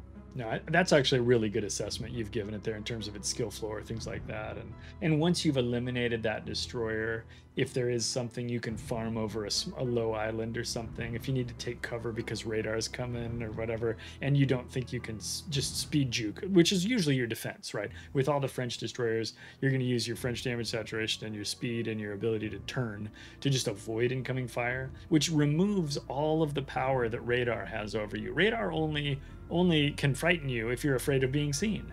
But if you're in Colbert, Marceau, Kaba, you know, any of these boats, you don't care if you're seen. And so like, you know, you can do those things. But um, mm-hmm. but you're right. If you can find a battleship that's maybe not moving right now and they're within range and you can hide behind something, um, what a great thing that you can do to it with this horrible ship and, and this little beastie, right? Which can just tear you up. Mm-hmm. Um, so Marceau definitely, I, I think I have to agree with your statement. Like looking at all the ships that are on the screen at the moment, from destroyers at least, Marceau's certainly one of the most uh, it certainly is the most of the competitive of the five that we can see right now um, and probably the most competitive of the coal destroyers at tier 10 and we'll I'll, I'll, adjust that if i see a ship on the next page i'm not remembering um, mm. You're right about the skill floor, though. This is not for the faint of heart, um, but it's also a great place to learn about that kind of playstyle because you can use that in a lot of ships. Um, uh, that are kind of similar in flavor. And I don't think we're done seeing fast destroyers in World of Warships. They've got more countries and things they can be coming out with, and who knows what they're going to be like. Um, I don't know that they're going to, you know, give us another Xerox of a Kleber necessarily. I guess they did. Kleber CLR came out Yeah, this year. Damn Damn it. CLR enters Immediately proven wrong. Yeah. with its six thousand. Hey, remember me? Yeah, no Yeah. joke. But I mean, yeah, I, Marceau's a, I think Marceau's a strong boat, and it's going to have a lot of fans. Um, I again, I, I tend to choose something that it's easier to hit with. Maybe I'm too petite for Marceau, and maybe I just need to take it out some more. So maybe we'll take this one out on stream sometime in the future as well. I'll add it to my list of boats to re-engage with. Uh, Mother mentions Mother Mother Onai uh, mentions the new Dazzle skill, um, which is gonna which is a little bit stronger than it used to be. That could be fun to try out on this thing, um, for sure, uh, for sure. Mm-hmm. Speaking of Sherman, Betaflex, Skada, Forrest Sherman, Golden Barnacles uh, People's Choice Award winner last year. Tell us about Forrest Sherman. Yeah, Forrest Sherman's a tier 10 American destroyer. Uh, different than Gearing in that it is really a heavily gun based ship. Uh, has uh, SAP, uh, three three guns that reload instantaneously that can fire SAP or HE. Uh, they have relatively good shell ballistics, although, like most American shells, they are a little bit floaty. Um, probably better than like Gearings as far as float goes, though. Um, uh, Forrest Sherman really popular, I think, with the community as far as being a playable ship. It's not a fast ship. No, she's Um, pretty slow. Yeah. It's not it, it's not great at repositioning in games because of that.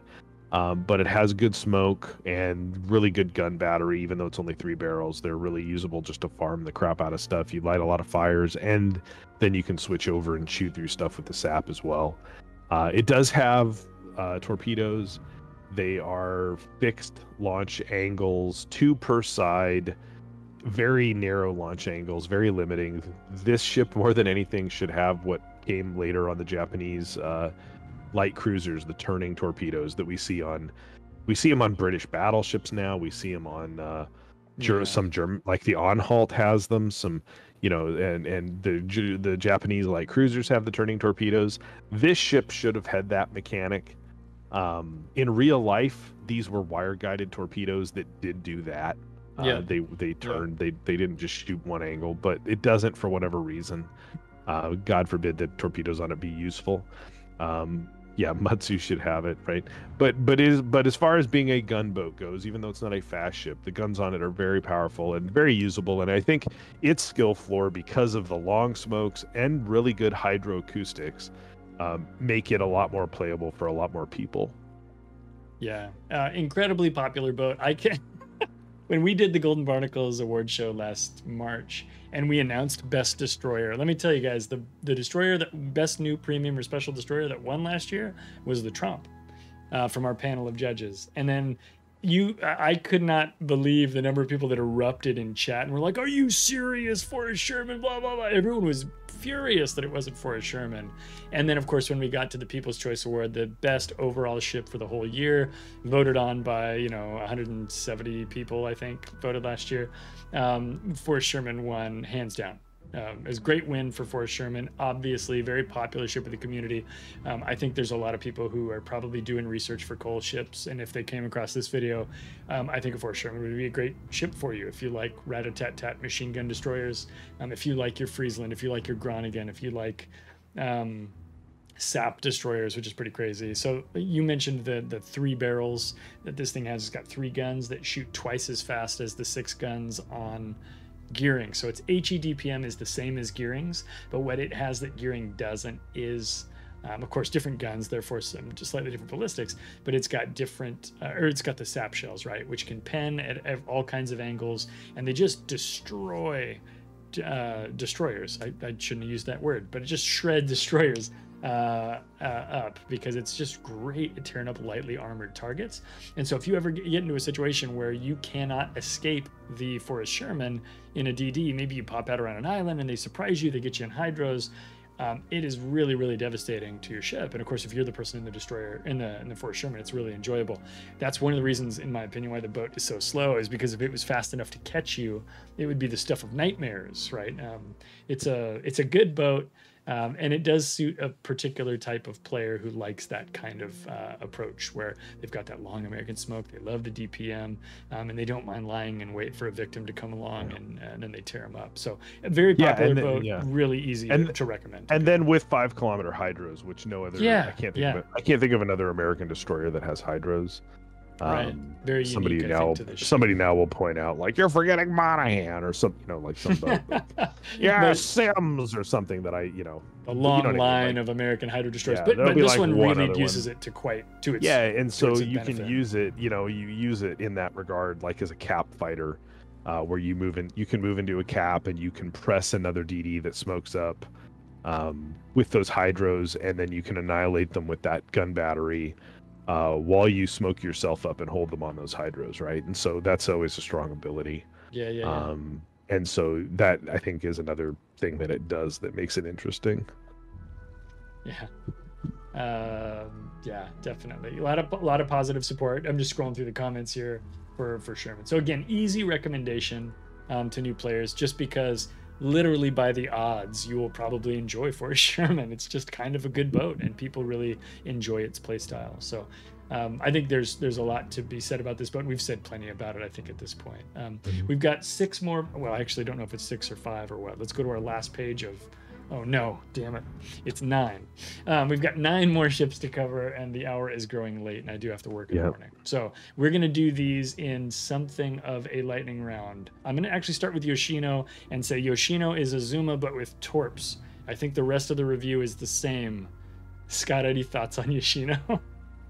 Yeah, uh, you can check out other ship shows we've done on coal boats where we talked about these ships, obviously. But Mm-hmm. um, I think Yoshino is better than Azuma because of those torps and It is, because it's a tier ten. Yeah, you get a little bit better matchmaking.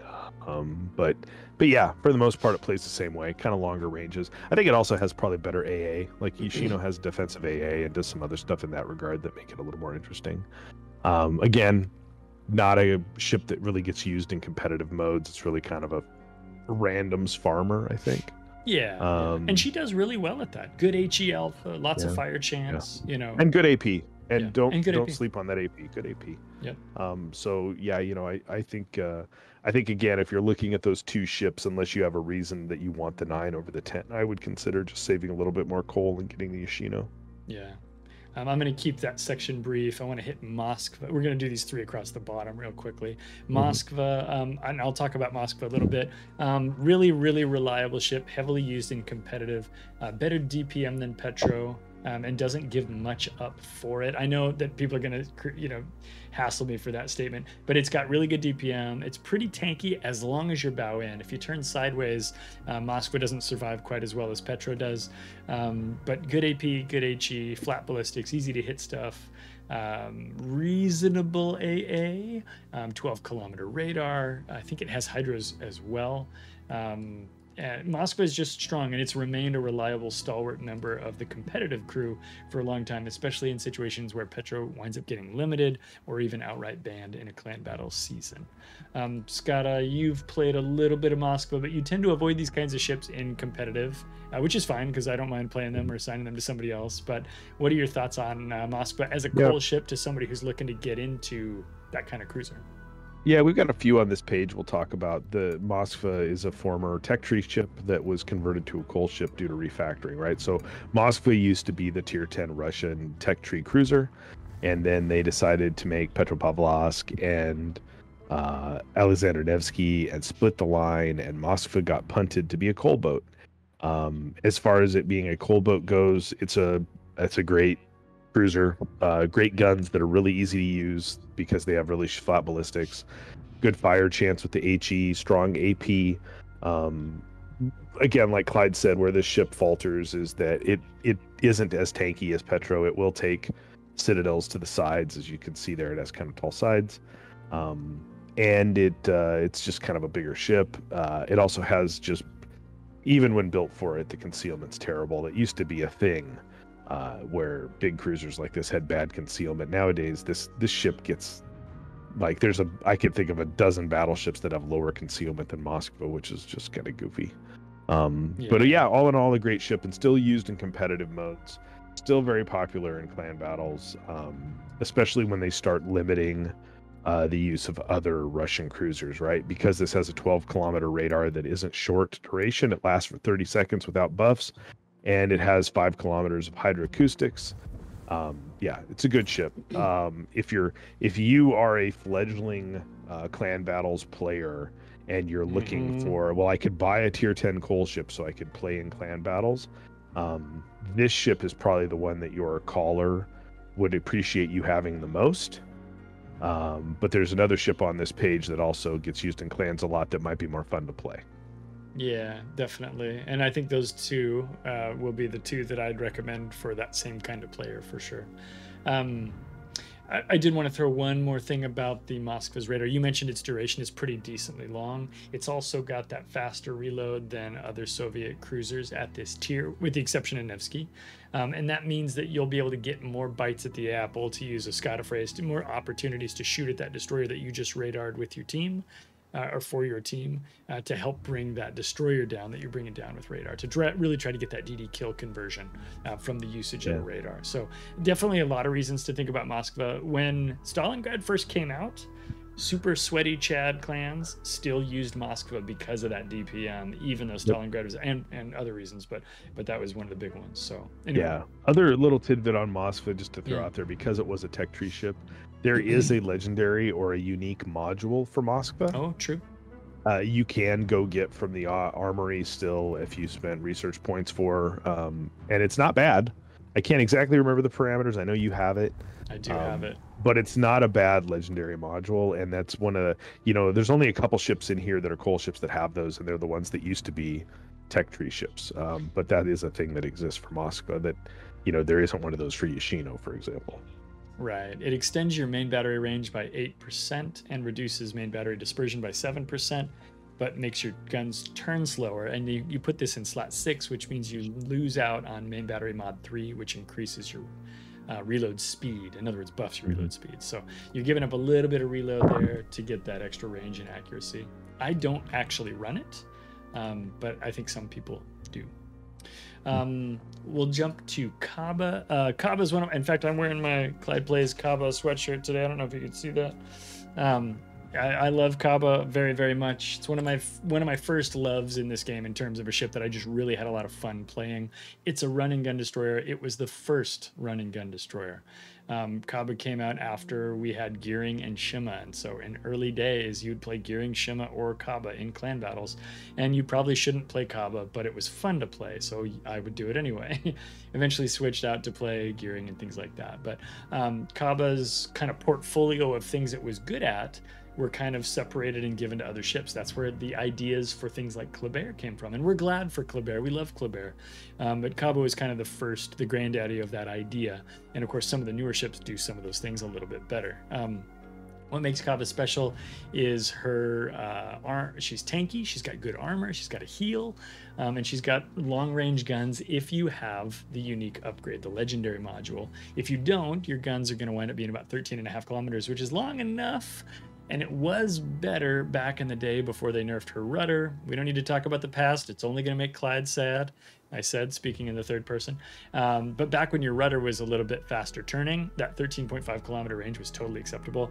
When they nerfed the rudder to balance the ship a little bit, uh, the legendary mod, which pushes your range out to 13 or 14.8 kilometers, became a lot more valuable to you. So this is a kind of destroyer that I like a lot. A little bit less Skada's cup of tea. Um, but Scott, let me throw it your way. What are your thoughts on Kaba today, 2023, Right. December? Yeah, again, uh, Kaba was a tech tree tier 10 Russian gunboat line destroyer until a you know year a couple years ago when it was replaced by the Delny and moved to coal ship status. Um, I think it's probably better than the Delny still. I don't think Delny's that great, but Yeah. Delny's more like Tashkent, um, like anybody ever would want that. Um, I I I when I when I was coming up through the game, the very last tech line that existed for me at the time to play for me to get to tier 10 was the line that ended with Kaba. It was the one I did last. I I was I played destroyers last. I played through the tech line destroyers last. I learned destroyers and I didn't and then I played through gunboat destroyers last because it really gunboats weren't my jam. um, that didn't have smoke. Um, obviously, you can smoke in Kaba, but uh, Clyde was like, "Nope, nope. If you're playing those boats, you use the heal. The smoke's not for you." And so I was like, "Okay." And I mean, so I I'm- didn't I, use I may have an opinion on what, what I didn't use the, right way smokes on that line, and I got this line to. I finished Tashkent so that I could unlock Kaba right around the time that it was going to leave the game. So that made sure I got it for free without buying it for coal. I researched it. I never bought it. Then I got it, and I was like, "Well, everybody, Clyde loves this ship. I'm going to go play it." And I went to play it, and I'm like, "This ship's terrible. The gun range is like three kilometers less than Tashkent. Why would you play this?" And you're like, "Nah, the gun range is great, bro. Oh wait, that's only if you have the unique module." And when I realized I was then going to Oh. have to spend 20,000 research points to make this ship even playable for the way that I played Tashkent, which I didn't enjoy, I immediately took this ship and towed it out back and shot it in the face. And Yeah. it sat there ever since. And Scott I and I no didn't use talk for for, it. three weeks. He was Yeah, I-. I mean, I'm glad I didn't spend coal on it, and I'm glad I only researched it with Tashkent XP, and I didn't Mm. really buy it. Um, Yeah. But I've never really played it for anything. I've got a cool camo for it. I've got a Transformers camo for it that looks really neat. Mm, I don't have Um, that one. That is a good cool. and uh, and uh, and uh, I never play it, and I think it's sad that I think this ship would be fun to play if I had that unique module, and I'll never get it. And I think it sucks that it doesn't come with it because without it, it is terrible compared. And Tashkent's not fun, but but you play through Kiev and, and Tashkent, and you have this like build where you have like 15ish, 16ish kilometer gun range, and that's how you you're moving at speed and you're shooting at kind of maximum ranges and you're building fires, and it's a certain play style. And then I get to this thing, and it's like, ah, the guns shoot like 12. Best of luck. There's no rudder. it's if thirteen you wanna- five, but if yeah, you want to turn it, if you want to turn it, Igor on the back throws an anchor overboard, and you hope for the best.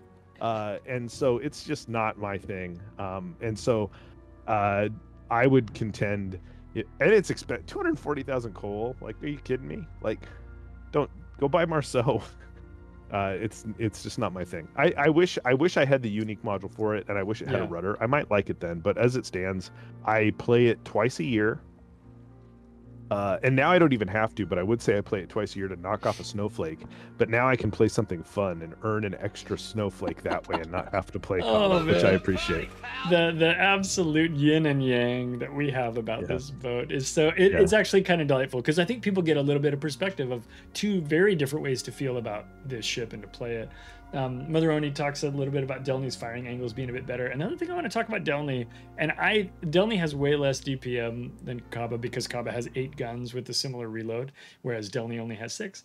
Delny has a 15.1 kilometer main battery range without buying any unique modules, and it has I think a five second rudder shift instead of like a 10 or 11 or whatever it is on And like 10 kilometer torpedoes, which And Kaba 10 has, what, kilometer Four torpedoes. kilometer torpedoes, six Uh, kilometer torpedoes. sixes, which are yeah. If you're getting torped in the Kaba, boy, did you make a mistake. Yeah, By the Kaba, you yeah. did you make a mistake? It's such a weird ship. It has great armor, and the guns are really cool. Like if you could use them, but like I don't want to drive around at 10 kilometers in this boat because I feel like without a rudder, I'm gonna get douched.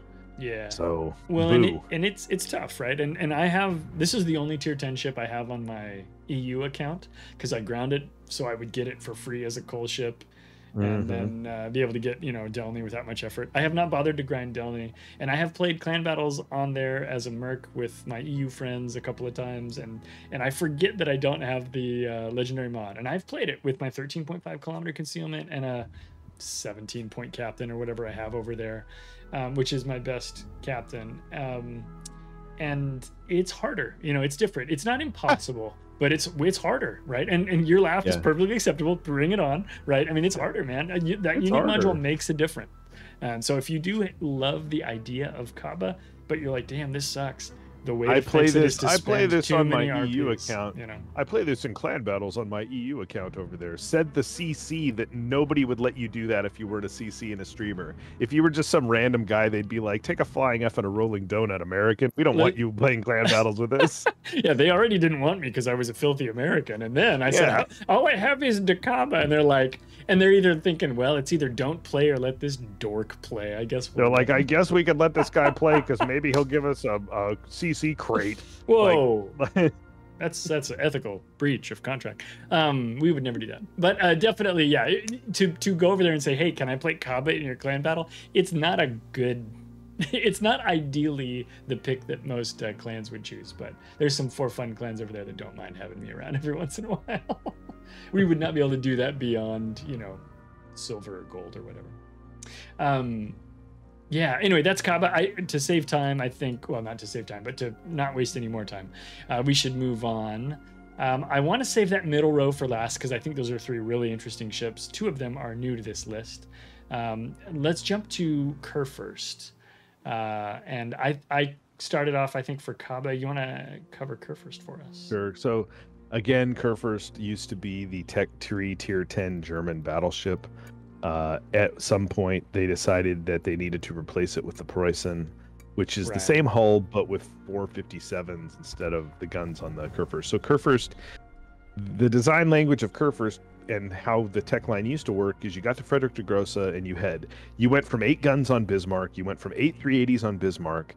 When you went to Friedrich der Große, you had eight 406s, and then you could upgrade the Friedrich der Große's main battery to 420s. Then when you got to Grosser Kurfürst, you had the um the you had instead of having eight you had 12 and it was the same thing. You could have 406s or you could buy alternate barrels and you could have like the 420s right? And the 420s have a little bit slower reload and it's, it was like a big debate back in the day between like Kurfürst chads like whether you use the 406s or the 420s and if it really mattered because 420s weren't that much better blah blah blah. And then somebody said well that's dumb the tech the top tier the te- the tier 10 should be that ship but it should have 457s and only eight of them we should only ever have eight guns and they should just get bigger and so Kurfürst got the boot and became a coal boat Yep. uh, which I think only made Kurfürst even more popular because there a bunch of people were like, I can go get that for coal now, and it's cool, and it has secondaries, and you could just run around in it and be a maniac, right? And it's a gigantic ship, and it has a huge hit point pool and a massive superstructure that gets farmed with HE by everybody. Um, but sentimentally, a lot of people like Kurfürst because of what it was and what it always has been. Wehraboos love it. I like Kurfürst. Yeah, I yeah. Kurfürst was the first tier 10 battleship that I unlocked in the game because I wanted the giant secondary tanky crazy Kurfürst. Um, and it's fun That's the thing people that. want. Like it is fun. Secondary boats are Yeah. fun, even though they're Yeah. kind of stupid. They're fun, Yeah. and Kurfürst is, Is no it- exception. Is it as good as Schlieffen? No. Is it as good as Preußen? Yeah, It's different because Preußen has 457s, and I don't actually play Preußen as a secondary battleship. I play it differently. So weird, right? Um, but but I have a lot of different battles in Kurfürst because it was around and played Kurfürst a ton. And like you know, you can go farm junk and co-ops, and it does this, that, and the other thing. Um, Kurfürst has uh, hydros. It doesn't have torpedoes. Yeah. Um, got it's huge. It's slow to ex- get going. Once it gets going, it's hard to stop. Um, but it's just kind of an interesting ship.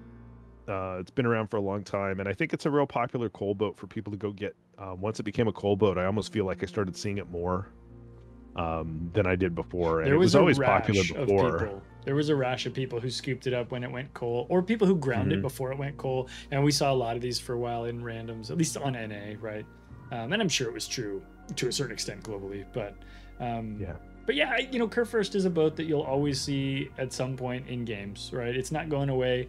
Um, it's maintained a certain level of popularity, which is kind of actually uh, special about this boat. Is it like top shelf, top tier, perfect boat for everything? No. Is it fun? Yeah, it is. It's a fun boat to play. And um, there used to be really, really bad dispersion and bad Sigma and stuff like that on these German BBs, and they got buffed what's been now years ago. Yeah. Um, and so they Yeah, they can the kind of hit stuff at range yeah, in a certain they, degree. they pretty much have the same dispersion as American battleships, right? Um, yeah. So yeah. so that that's a lot better than it used to be. Um, and so and with 12 can, shells, you like you're gonna mo- hit stuff. you know with more Yeah. range yeah and so so yeah it's it and and it's also a ship uh that that it is even better in modes with less people i wouldn't say that you yeah. we still see them in clan battles i don't know that you, you should but people still play battles i'm sure i'm sure somebody's using them in ranked i'm sure like in brawls and things like that where there's less people when Oh, yeah. they're in tier 10 that they're, it's still a popular ship because when there's less stuff that can crack away at it it is really tanky Yeah. um, but in a but in randoms, it's a like I remember playing Smolensk and um, first time I played Smolensk, I got a uh, Witherer against a Kurfürst because you could just it just has so much superstructure and you could just burn the bejesus out of it. And and it's always the long-standing joke that Kurfürst players' keyboards only have W. They just yeah. it's just one just, button. Just, nope, I go forward and I try to get in secondary range, and secondaries go burr, and I die doing it right. And um, and but but it's a fun ship if you play it right, and Yeah. um, Yeah. it can still be used in modern world warships. Um, you know, I think it's still a fun ship. Yeah. Um, can I, I'm gonna pre- not pretend that I know anything about Immelmann this time. Uh, every time we do this this show, I'm like, let me see if I can guess some things about Immelmann. Can you just give us a, a quick description of Immelmann? I think you played it more than me. I don't think you consider yourself an expert, just for the information of the audience. Yeah. But Immelmann, uh, again, tier 10 German aircraft carrier. Um, for a long time, was the only coal aircraft carrier. Uh, Immelmann was the first ship in game that had skip bombers as an armament type. Um, it was kind of the test bed for those. Um, excuse me, if memory serves, uh, and again, I, I haven't played it in a while, but I don't. I think as far as its aircraft go, um, it only has skip bombers and torpedo bombers. Uh, it doesn't have rocket planes, right? And so when people think of German carriers on the tech line, they think of like AP rockets and high altitude uh, AP bombers. This has uh, skip bombers that create fires, and then it has torpedo bombers. And the torpedo the torpedo bombers on it are a little bit more functional than I think the tech line ones. I feel like they have a better damage alpha. Might just be that they put down more torpedoes. The planes are quick. The, the the speed on the planes is really good compared to the tech line Germans and, and really compared to a lot of tier 10 carriers. Um, it, but again, only having two types of planes you can deploy uh, kind of makes it interesting as far as uh, somebody trying to play carrier. I don't I don't think people anybody should go buy a tier 10 carrier as their first carrier with coal and then just start going playing randoms because um, that's a great way to have everybody in the world hate you. Um, Yeah, if you don't know a- if you don't know how to play idea. carriers, don't learn how to play carriers that way, please and thank you. Um, and I don't think Immelmann is extremely powerful, but um, it's I, I think it's interesting and I don't think it's a bad ship. I haven't played it in a long time. I think some of the things I do with like the Béarn, the tier six French um, Mm, carrier. yeah, I think yeah. some of those same things I could probably do with Immelmann skip bombers that I do with Béarn skip bombers, like hunting destroyers and things, and it might be interesting. Um, yeah. but I don't, I don't. It's not a tier ten carrier that I reach for. I don't play a lot of tier ten carrier anyway. Right. Um, but uh, yeah, and it's it's a big German, you know, carrier, so it is what it is in that regard. Yeah, I, I do like the two kinds of ordnance, and you can just kind of focus on getting good at those, and that's kind of cool. I don't think it's the easiest carrier on this list, and there's only two, um, and I don't think that it's the one I would go for first. And so we'll jump in. We'll talk about Malta next. Um, Malta came out uh, last fall, a very popular ship. Uh, it was initially sold for cash and then available for coal like a month later. Um, and it's it's a great carrier. It's actually really powerful. Um, it's got AP bomber, AP carpet bombers, which is great against light cruisers. Um, it's got uh, very durable airplanes and uh, good regen on the airplanes, and so you you can run around and make mistakes about your approaches with the aircraft carrier with with with Malta's planes, and still have planes later in the battle. Um, so, you know, Scott had just said the thing, and I'm going to say it again. Uh, I don't recommend that anybody goes and gets a tier 10 carrier and they go, I'm going to learn carriers today. Tier 10s in randoms. Um, I think Malta is probably more accessible. mm, It's differently more accessible probably than Immelmann. I think it's more accessible than Immelmann to a player who is learning carriers, but don't start here. Um, start at a lower tier um, and learn carriers a little bit there because it's very critical, even with the changes to carriers a couple of few years ago.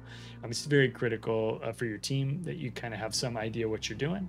I do think these are great carrier. Uh, uh, the Malta is a great carrier to get and add to your port if you like aircraft carriers. I'm not a CV main, um, but I've I've grown to kind of enjoy Malta. Um, and uh, and recommend her to people who are of the carrier persuasion. In a few weeks, I don't know exactly when, I'm going to do a um, fireside chat, uh, which is another podcast type episode with uh, Twitch streamer Angelic Cipher. We're going to talk about a bunch of carrier things. Hopefully, you guys will join us for that as well. Um, but Scott, uh, thoughts on carrier Malta? Uh, yeah, Malta's really powerful.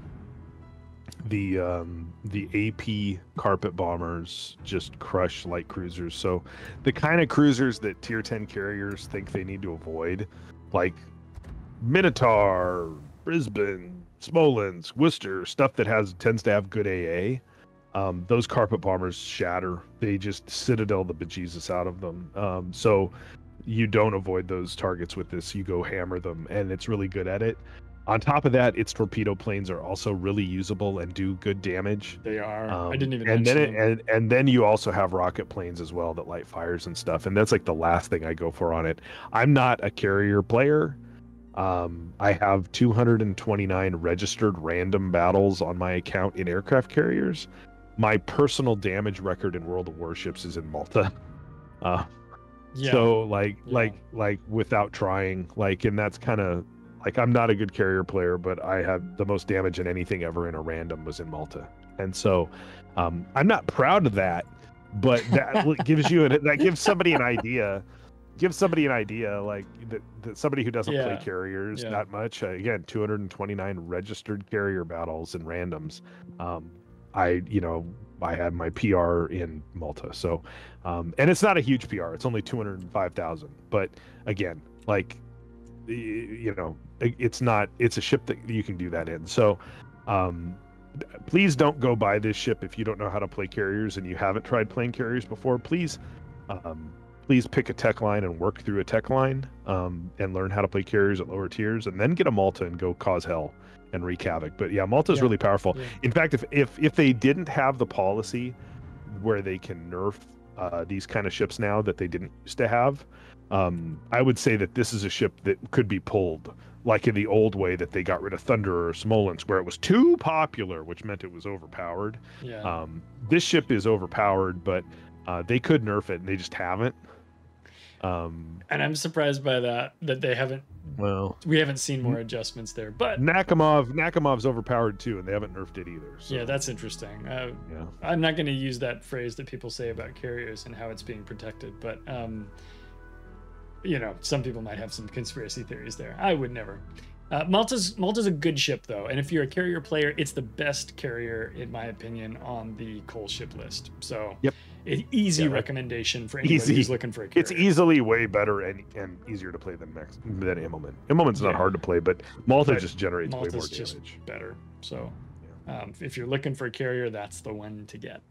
Um, Mhm. Our next row here uh, goes from Brisbane to Napoli to U4501. Skada, do you want to take the Brisbane and talk Brizzy? Brisbane is relatively new. This, I think, we're finally to ships that we may not have talked about in the last Yeah. iteration of this uh, video.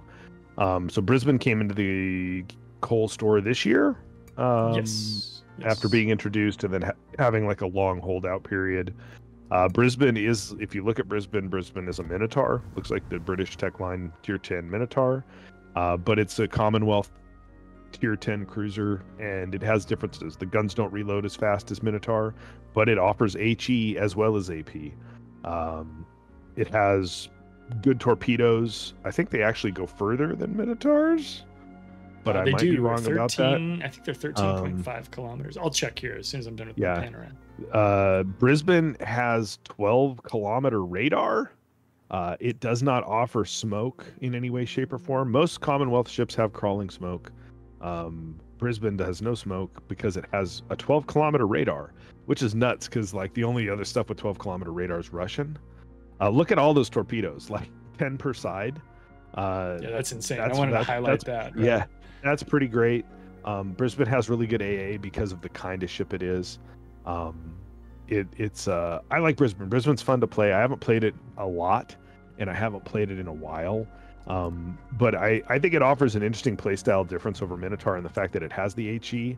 The reload's not horrific. It's you know it's still like in the sixes. Um, you know, but it has a lot of guns and you can light fires. You can do you can do work with the AP. It has good torpedoes, and then it has that great radar, which is really good. That 12 kilometer radar is like nothing to sneeze at. Um, downsides are that it's like a squishy light cruiser, um, like Minotaur. You know, you can get, Yeah. you know, if you if you don't know how to play those, you're going to get your your can shot off in it. Uh, what's your take on Brisbane? I, I really like Brisbane. I like light cruisers. Um, my reload, you were talking about the reload there, is down to 4.4 seconds in it. Uh, we did confirm the torpedoes are three, 13.5 kilometers, 12 kilometer uh, radar, as you mentioned. Um, the concealment uh, is sub 10 kilometers. Yeah. Um, yeah, it's the concealment's super low. You can like stealth yeah. radar all day long. So it's it's a really strong ship, you know, unless you get spotted, in which case it has no armor, right? I like Mother Oni's comment says Brisbane's like a minnow with HE, plays like minnow and gets deleted. Absolutely true. Um, you know, it's not unlike minnow in the way that you play it, but you do have some extra special care you have to play with because of your lack of smoke, your your inability to hide. Now, some people, you know, turbo minnow chads who only play it as radar minnow, sure, um, and this is fairly similar to that playstyle um, if you're going radar style on that ship. Um, but Brisbane's great. Uh, you, you, know, you're going to have emotional highs and lows. You're going to do amazing things with it. You're going to get amazingly deleted just as soon as, you know, you get spotted with it. You need to learn to love your islands and, and everything. You can do some open water work in it. You will jump island to island, and there will be times when you're exposed, and those times are very dangerous. And so the excitement is high, and you can do a lot with her. Uh, those torpedoes are a big part of her armament, right? Stealth torpedo, stealth radar, stealth, stealth, stealth, right? So anytime you can stay dark is good for you. Um, it's risky. You want to play close to caps, but that's hard to do. So, you know, finding a place where you can survive is is a big part of playing this ship well. I'm not an expert in in Brisbane. I think I'm serviceable in it. If I was on your team in a Brisbane, you wouldn't be mad about it but you might not be like excited about it either. Um, and so, you know, take all of my words with that kind of a grain of salt. Um, good ship though. I think Brisbane is worthy of your coal, not just because she's new, but because she's legitimately a good ship. But if you're a person who does not survive in light cruisers, you won't have fun. And I want you to, mm-hmm. I want you to have fun with anything you buy. Right? If you need an Aegir to be happy, um, Brisbane's not going to do it for you. That's I don't know any rebuttal on any of that before we jump along. Uh, no, the one other thing I would say is that yeah. current, um, there's no tech lines for the Commonwealth in the game at current as of the time of recording today, they announced that they're adding a tech line of Commonwealth cruisers to World of Warships in the future. Mm-hmm. At current, there is none. So there is no good way to have a high point captain for this ship other than playing a captain on the ship or another Commonwealth premium ship that you may have there are other XPing one, yeah, or you, you or making one, one with Commander XP, right? And so yeah. that part of it is the biggest drawback for most people. You basically have to free XP a captain, or you have to build a captain playing this ship or another um, Commonwealth premium ship. There's, you know, Vampire 2 is a research bureau ship. Uh, that's a destroyer. Hector is another light cruiser that's a research bureau ship. But Hector in my opinion, you would have a different build on than you would have on Brisbane because of some differences between how the two ships work. You definitely and so, would. So not really great there, right? And so that's the hardest part about Brisbane is you have to like, you have to basically buy, like you have to take a captain and free XP them probably up to 18 points to be comfortable, at least 16 probably to be usable. This boat wants a higher point captain just because yeah. it's it's. Yeah got a lot of demands in order to be really strong yeah. and, and, and, survivable. Um, yeah. got in the future. In, go ahead. I, I was just say in the future when they do release a Commonwealth cruiser line. Yep. I do not know if a Brisbane captain will translate to the tier 10 in that line because what they announced today, the tier 8, the tier 9, and the tier 10 in that line are cruisers with 203 millimeter guns and crawling smoke and not radar. Um, right. Right. And so I don't know that you would build them the same way as Brisbane or Hector. And so that kind of comes into play as well. So it may not really be a captain trainer situation either. Yeah, my suspicion is it's good, they're going to need a different captain than Brisbane, but that's okay. Um, yep. If you build up a 21 pointer here and then you decide you like the tech line better, retrain them. You know, it's not yep. a bad thing to have a 21 or or even a 15 or an 18 point captain, right? Yep. Um, comment in chat says the issue is if you're using Brisbane as an alternative to your util- utility cruisers like DM and Moskva, you're better off using Nevsky. This sounds like a comment about um, competitive play, and I and I think that's very true. Uh, we did see Brisbane show up in things like King of the Sea because of ship bans, however. Um, also, it was new. It was the new hotness, and the and the the Chads once they had all of their favorite ships banned had to look around and see what had utility, and Brisbane had some of that. So, do I think you're going to choose Brisbane over Nevsky? Uh, I would not in a competitive statement or a competitive situation. Um, however, I think there may be situations depending on what kind of competitive you're playing in, tournament play, things like that, where you may uh, find yourself needing to look for an alternative to your favorite Reach Four ships. Um, uh, yeah, so Napoli is our next one here. Just continuing along Napoli, very popular in clan battles, very tanky, fairly low DPM from the mains, um, but reliable DPM, we'll say. Um, secondary cruiser, of course, uh, with SAP secondaries, high volume of fire, fairly accurate secondaries, or very accurate secondaries, I should say, with good range. Um, she's got slow, long range torpedoes. Um, Napoli is, is, is a well known uh, treat at this point for people who uh, do clan battles or ranked battles. Um, and, uh, and so most of you have probably heard about all of the wonderful things about Napoli. Um, and I like Napoli too. I do wish that the AP punched a little harder when I need it to do something special. In clan battles, it often doesn't. Um, but you can start fires with the HE. Uh, and the AP is not not worth using. Um, it just is a ship that gets damage slowly over time through survival, not through massive alpha damage. Um, it just lives so long that it eventually scrapes together a respectable damage number, um, and that's that's kind of Napoli's thing. She's got very good concealment. Uh, she's relatively speedy. She's got a oil smoke that lets her uh, be concealed in motion with I think like an eight kilometer uh, smoke firing penalty. Um, Napoli's just reliable, good, and often restricted in clan battles if that's a thing that you're interested in. It's a great ship, I think, for a player to get into. Um, and uh, Scotty, you alluded earlier to the idea that your caller, your your team assembler, is going to prefer that maybe you bring something like a Moskva because everybody wants to play Napoli. Napoli's so fun. Do you want to talk through some of your thoughts on that, maybe? Uh, yeah. I mean, as as far as what you could buy here, if you're trying to be like a if I'm trying to get a ship here that I can use in competitive modes, right? I think you know, Moskva, Napoli, to an extent, Salem are probably those ships. Uh-huh. Um, Napoli uh, has no sensors, um, like Italian cruisers. It doesn't have SAP main batteries. Its gimmick is that it has SAP secondaries. Recently, there's been a change to captain builds uh, where a skill called Pack a Punch was created and extends secondary range and torpedo damage on cruisers. So it's a skill that everybody's now taking on this ship. Um, so you can have, you know, like 12 or 11 something kilometer secondaries on it. It does have extremely accurate secondaries um, for a cruiser. You can't manually target them like you can if you build into secondaries on a battleship, but it has that. Um, it, eh, the main battery, again, they're 254s. The AP is fine. I find that the AP tends to overpen things I don't want it to, and sh- and not work on things I need it to.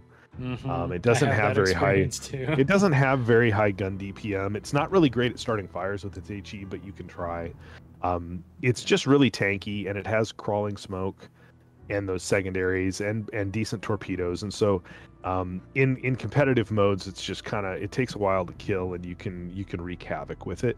Um, you can do a lot of those similar things with it in randoms, but I think more the more it gets targeted, the less interesting it is. Uh, but again, it's a fun ship. It's also really fun if you're looking for something to dork around with in co-ops or if asymmetric battles are available to you yeah. when you have when this when you're watching this. Yeah, and it's fun in those modes as well.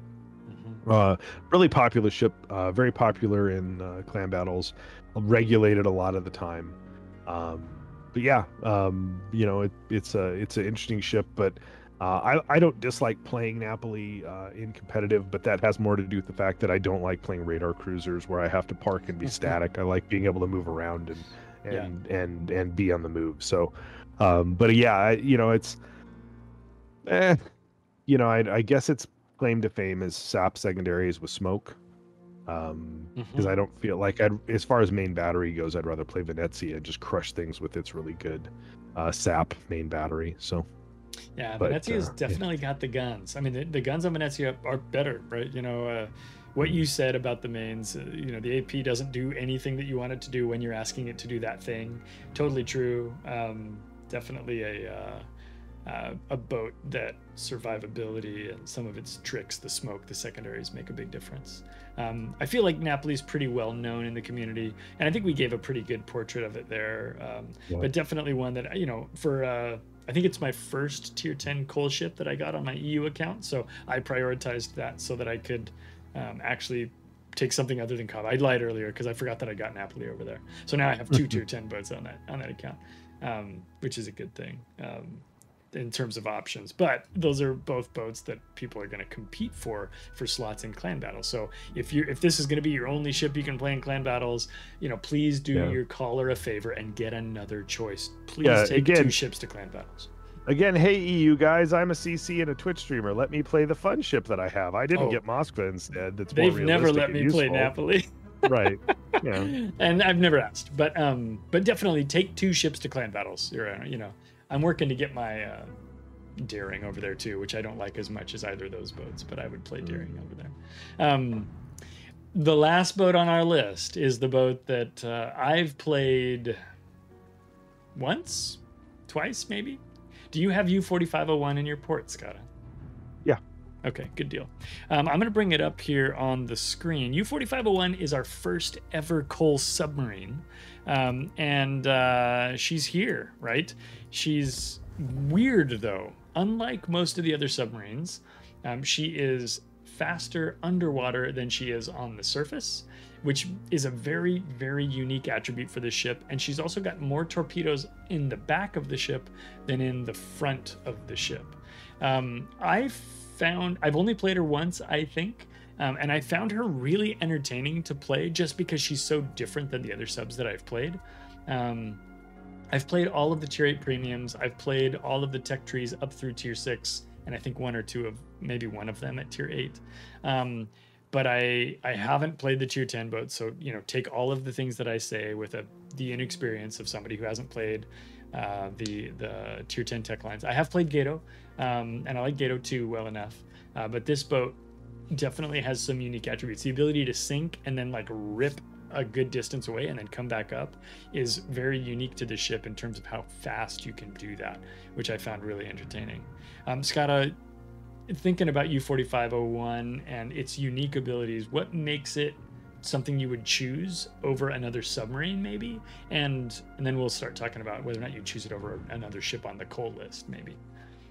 Yeah, you know, um at tier 10 I wouldn't choose it over probably anything other than maybe Thrasher.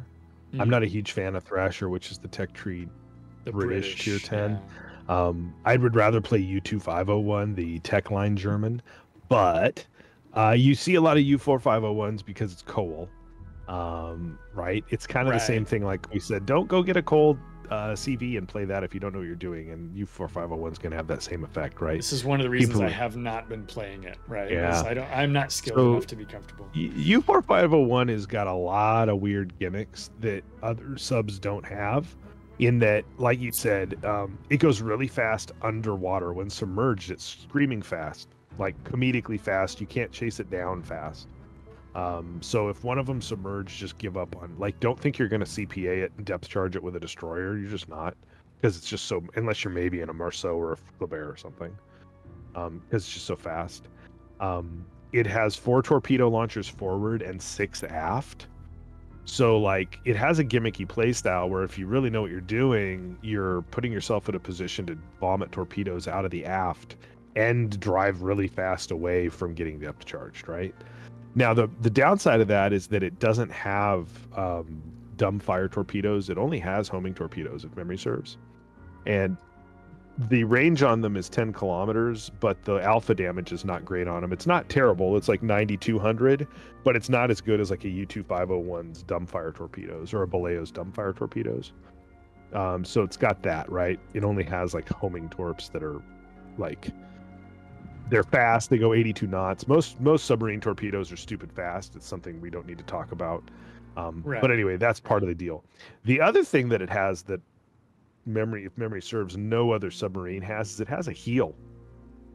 Um, so you can only use it when surfaced, but it has great surface concealment because it's a submarine, right? It's like 5.4 base conceal on the surface, um, and you can heal, which you can't do in other subs. So there's that, which is kind of forgiving and nice. Um, just talking about the mechanics of it, uh, I'm not looking at the stream right now. Um, and I'm not really interested in people's opinions on submarines in general. We're just talking about this for the show. But um, Yeah, so yeah, that's how it's different. Like U2501, the tech line German sub works totally differently. Gato, obviously, the steel submarine works totally differently. Balao and Thrasher. right, right. Thrasher, Thrasher actually a lot more similar because Thrasher also um, Doesn't only also only has- have homing torpedoes, right? Yeah, yeah. Yeah. the British only Yeah. have homing, and they're way weaker. They go further, but they're slower and they do way less damage um, than the uh, than the U four five hundred one. So, but yeah, so U four five hundred one is kind of interesting in that regard because you you can put it into a position where what your intent is to do is to be submerged and drive away really fast while shooting torpedoes out the aft. Uh, it's just kind of a weird design, but it was Yeah, a real yeah. It, it was a real steel design. It, it's not like a made up wargaming thing. Um, so kind of interesting. Um, dive capacity on it isn't amazing uh, Right, compared to some of the other tier 10s. Maneuverability, we've we've talked about this before. My opinion on submarine maneuverability is that they they handle like battleships. Uh, yes. you know, they, yes. they handle like battleships, but they and they have really crappy torpedo launching angles in comparison to like destroyers, in my opinion, right? yeah. but um you know the the fact that it's underwater maneuvering is like 36 knots is is just kind of crazy right it just really cooks underwater so uh and then there's others there's captain skills submarine captain skills like the uh uh there's one that has to do with like your your your drive shaft um Yeah. I can't remember what it's called enlarged propeller shaft Yeah, right Yeah. that that that makes, you go, faster, faster. on the surface and at periscope depth so that helps it and yeah, that Mhm. might be a skill that you'd take on that sub so anyway it's kind of interesting um it's the last new submarine that's been introduced in the game we're kind of in a place right now where i feel like wargaming has taken a pause on introducing new submarines uh, they have not introduced the uh, russian tech tree submarines which um my understanding is they've already been introduced in the Mir Korabley game and they just haven't been introduced here. So they're done in that way. Um, but yeah, it's kind of an interesting thing and it's a coal boat. I think it's popular. I see a lot of them get played. Yeah. Yeah. I Uh, know so, a number of players you know- on the Discord have said, "Well, I didn't have anything else to buy, so I bought this. I thought I'd give it a try." Right. So I think that's part of what's Yeah. going on with this one. Yeah. Um, we had a comment in chat from uh, Eli Cassian who said, uh, "It's fast underwater, only in a straight line. If it turns, its speed drops a lot, um, Yeah. and you can play it well behind enemy ships."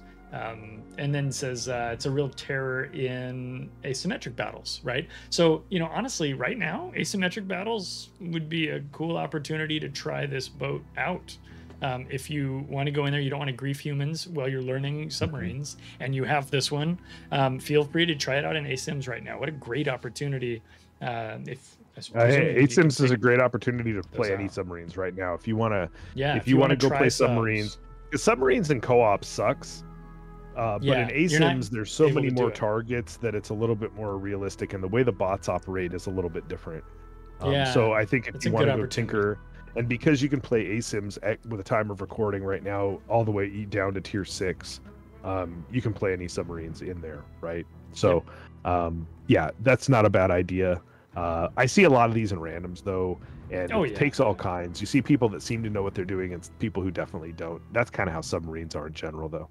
hmm Yeah, another one. He says the bots are smarter in ASIMs, and and that's true, um, to a certain extent at least. So again, take if you guys are submarine curious right now, and I know we understand that there's a lot of tension in the world in the world of World Warships right now about subs. Uh, we're not interested in that at the moment, but um, for those of you guys who want to maybe give submarines a try, ASIMs is a great opportunity to try that, um, where you can learn and uh, and experiment, like you said, target-rich environment, things like that.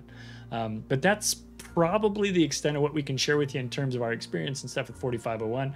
Um, like I said, when I played it, I, I could tell that it was different than the other submarines I'd played, and I thought it was at least interesting. But I can't say if I think it's strong, if I think it's you know um, a boat that you should rush out and get. I think if you're thinking about a submarine and you have coal, this is your only choice. Uh, if you have steel, you can look at Gato, and of course, everybody can get the ones in the tech line.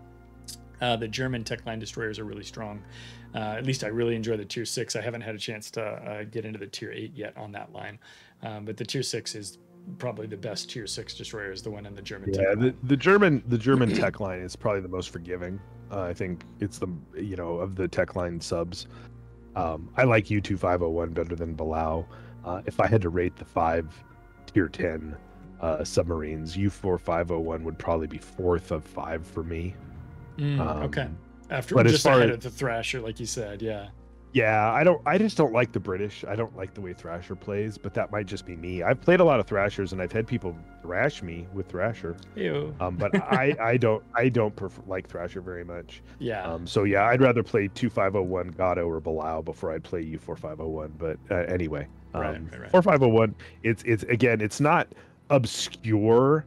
It's not super weird. It's just not No. the same. It's No. definitely different than U two five zero one, the the Yeah. tech line. one. So, in the interest of time, I'm keeping you up way too late. Let's take a quick look at our tier 10s. Um, if you were taking three tier 10s, however you want to think about it, what are those tier 10s? We've got this page here, and I can flip back to the other one too. Yeah, if I'm I- did I close my browser? I had a list here. I've So I had the I've had ship tool open all night. Let me look at the tens here really quick. Yeah, go for it. Um, five classes represented now. Um, you know, we've got the soup to nuts here.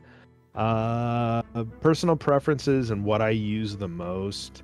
Um, I have a hard time not picking Napoli because I just use it a lot in plans, It's and it's also fun. Yeah. It's also fun in like ASIMs and stuff. Although um, lately I've been kind of frustrated with it. Um, you know, it sucks to say, but Malta's great. Malta is Um, great. She's Malta's- powerful. Malta's- she's yeah. she's fun. I don't, you know, I I know people like to be me. like carriers, but but but it's fun to play Malta. It just Yeah. is.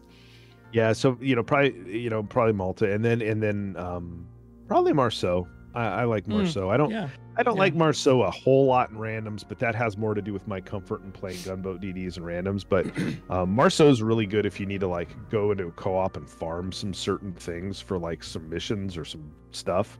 You can go get work done in Marceau, like if you need shell hits and Mhm. you know stuff like that it's pretty good at doing those kind of things and i have played it in randoms and had a good time uh, with it as well um, i've also played it i think in competitive a little bit because you can actually marceau's actually uh, one of the few destroyers on this list that you actually would see in competitive modes Yeah, that's a that's a real true statement for sure. Um, speaking of uh, like competitive, like if I was a more of a competitive bent player, I think I'd be looking at Moskva, Napoli, and Marceau for the reasons that we talked about throughout the night. Um, I think those three would be the ones I would go for if I was full on competitive. That was all I cared about. Um, thinking about just ships that I think are fun. Um, you know, I've got to throw Kaba on the list because I'm a Kaba stan. That's just the way it is. I'm sorry. There's nothing else I can say about it. I think that boat's fun. Um, so Kaba is going to be on my list for sure. Um, I think Napoli makes a list because I do play some competitive, right? I, I like to play Napoli in clan battles every once in a while when given the chance. Um, I like Brisbane. I like your Malta pick. It'd probably be one of those two. Um, there's a lot of DDs on this list, but honestly, none of them are like, other than Kaba, are really like, I love that boat so much, right?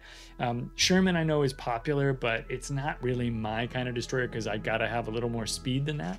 But I, I Yeah. bet a lot of players would choose Sherman, and I think that's a very good choice. For me, it's probably Kaba, Napoli, probably Brisbane before Malta because I'd get more mileage out of it, but I like Malta too. So if I was Yeah. picking four, I'd throw that one in there.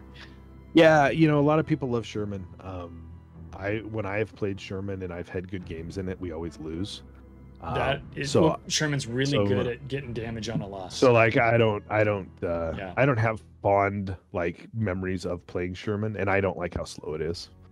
Uh Yeah, so that yeah. that bothers me. I don't like how slow it is at repositioning. So but that's just me. I understand a lot of people like it. The good for them. popularity of the Uh, ship speaks for itself. Yeah, right? you We- know, we've played with Brand before when Brand's procced Halsey on it. It's oh, it's amazing and it's great. Good for Brand. It's just not my cup of tea. Good for Uh, you, know, Brand. yeah, it's just Yeah. it's just not my thing. And that's the nice thing about this list of ships. There's a lot of different ships here, and a lot of them are different for you know different people, different strokes for different folks. Mhm. And the important thing is that if you spend the coal on it, um, that you have fun playing it, and that you, it's something you enjoy playing, right? Because it's it's especially early on in your career, these are larger investments in your time. You've spent a lot of time in game to earn this coal. And so hopefully in watching something like this video with us two knuckleheads talking, um, Yeah. maybe maybe something we said about one of these ships will pique your interest in a way that you play now and Mm. you can use that information to make a make a uh, a better informed purchase so that you don't end up with a coal ship that you don't like because that sucks Yeah, and that's all we're trying to do, right? What we're not trying to do is tell you these are the right ships to get in the right order because there's no right answer for that. But what we mm-hmm. do want to do is say enough words And if you enjoyed the show, if you enjoyed watching this, if you enjoyed watching it on YouTube later or skipping around to the sections, you might not be watching this part if you did that. Um, you know, like you said, it piqued your interest. It gave you some food for thought. And you said, yeah, those guys are idiots, but I like this boat because of, you know, something they said made me look this up and now I like it better or whatever. That's great. Mm-hmm. That's how we want to help, right? Um, yep. So, now that's well said, Scott. Thank you. And thanks for your time, man. I think at this point, uh, this is probably where we'll wrap it up. Um, mm-hmm. Appreciate you. Uh, I think we still managed to do three hours and 40 minutes on this, so all bets are off. Um, we'll yeah. get this onto YouTube soon for those of you guys uh, who want to watch it there. Scott, thanks again for your time. Any closing thoughts for the people before uh, I send you on your way? Before I set you free? Have your have your pets spayed and neutered. Thanks, all Bob. all right, and hey, you'll be back. We'll talk about steel ships pretty soon. All right. Yep. Have, awesome, take it easy, man. Thank you. Good night. With that, we are done thank you so much again. I appreciate you. Keep your eye on YouTube. If you know somebody who think you think would like this video, send it to them as soon as it's live. You can send them to the VOD over here on Twitch if you want to, uh, but we're going to have a cleaned up version on YouTube with bookmarks and all that stuff to make it really easily referenceable for them over there. Good night, everybody. It is so late.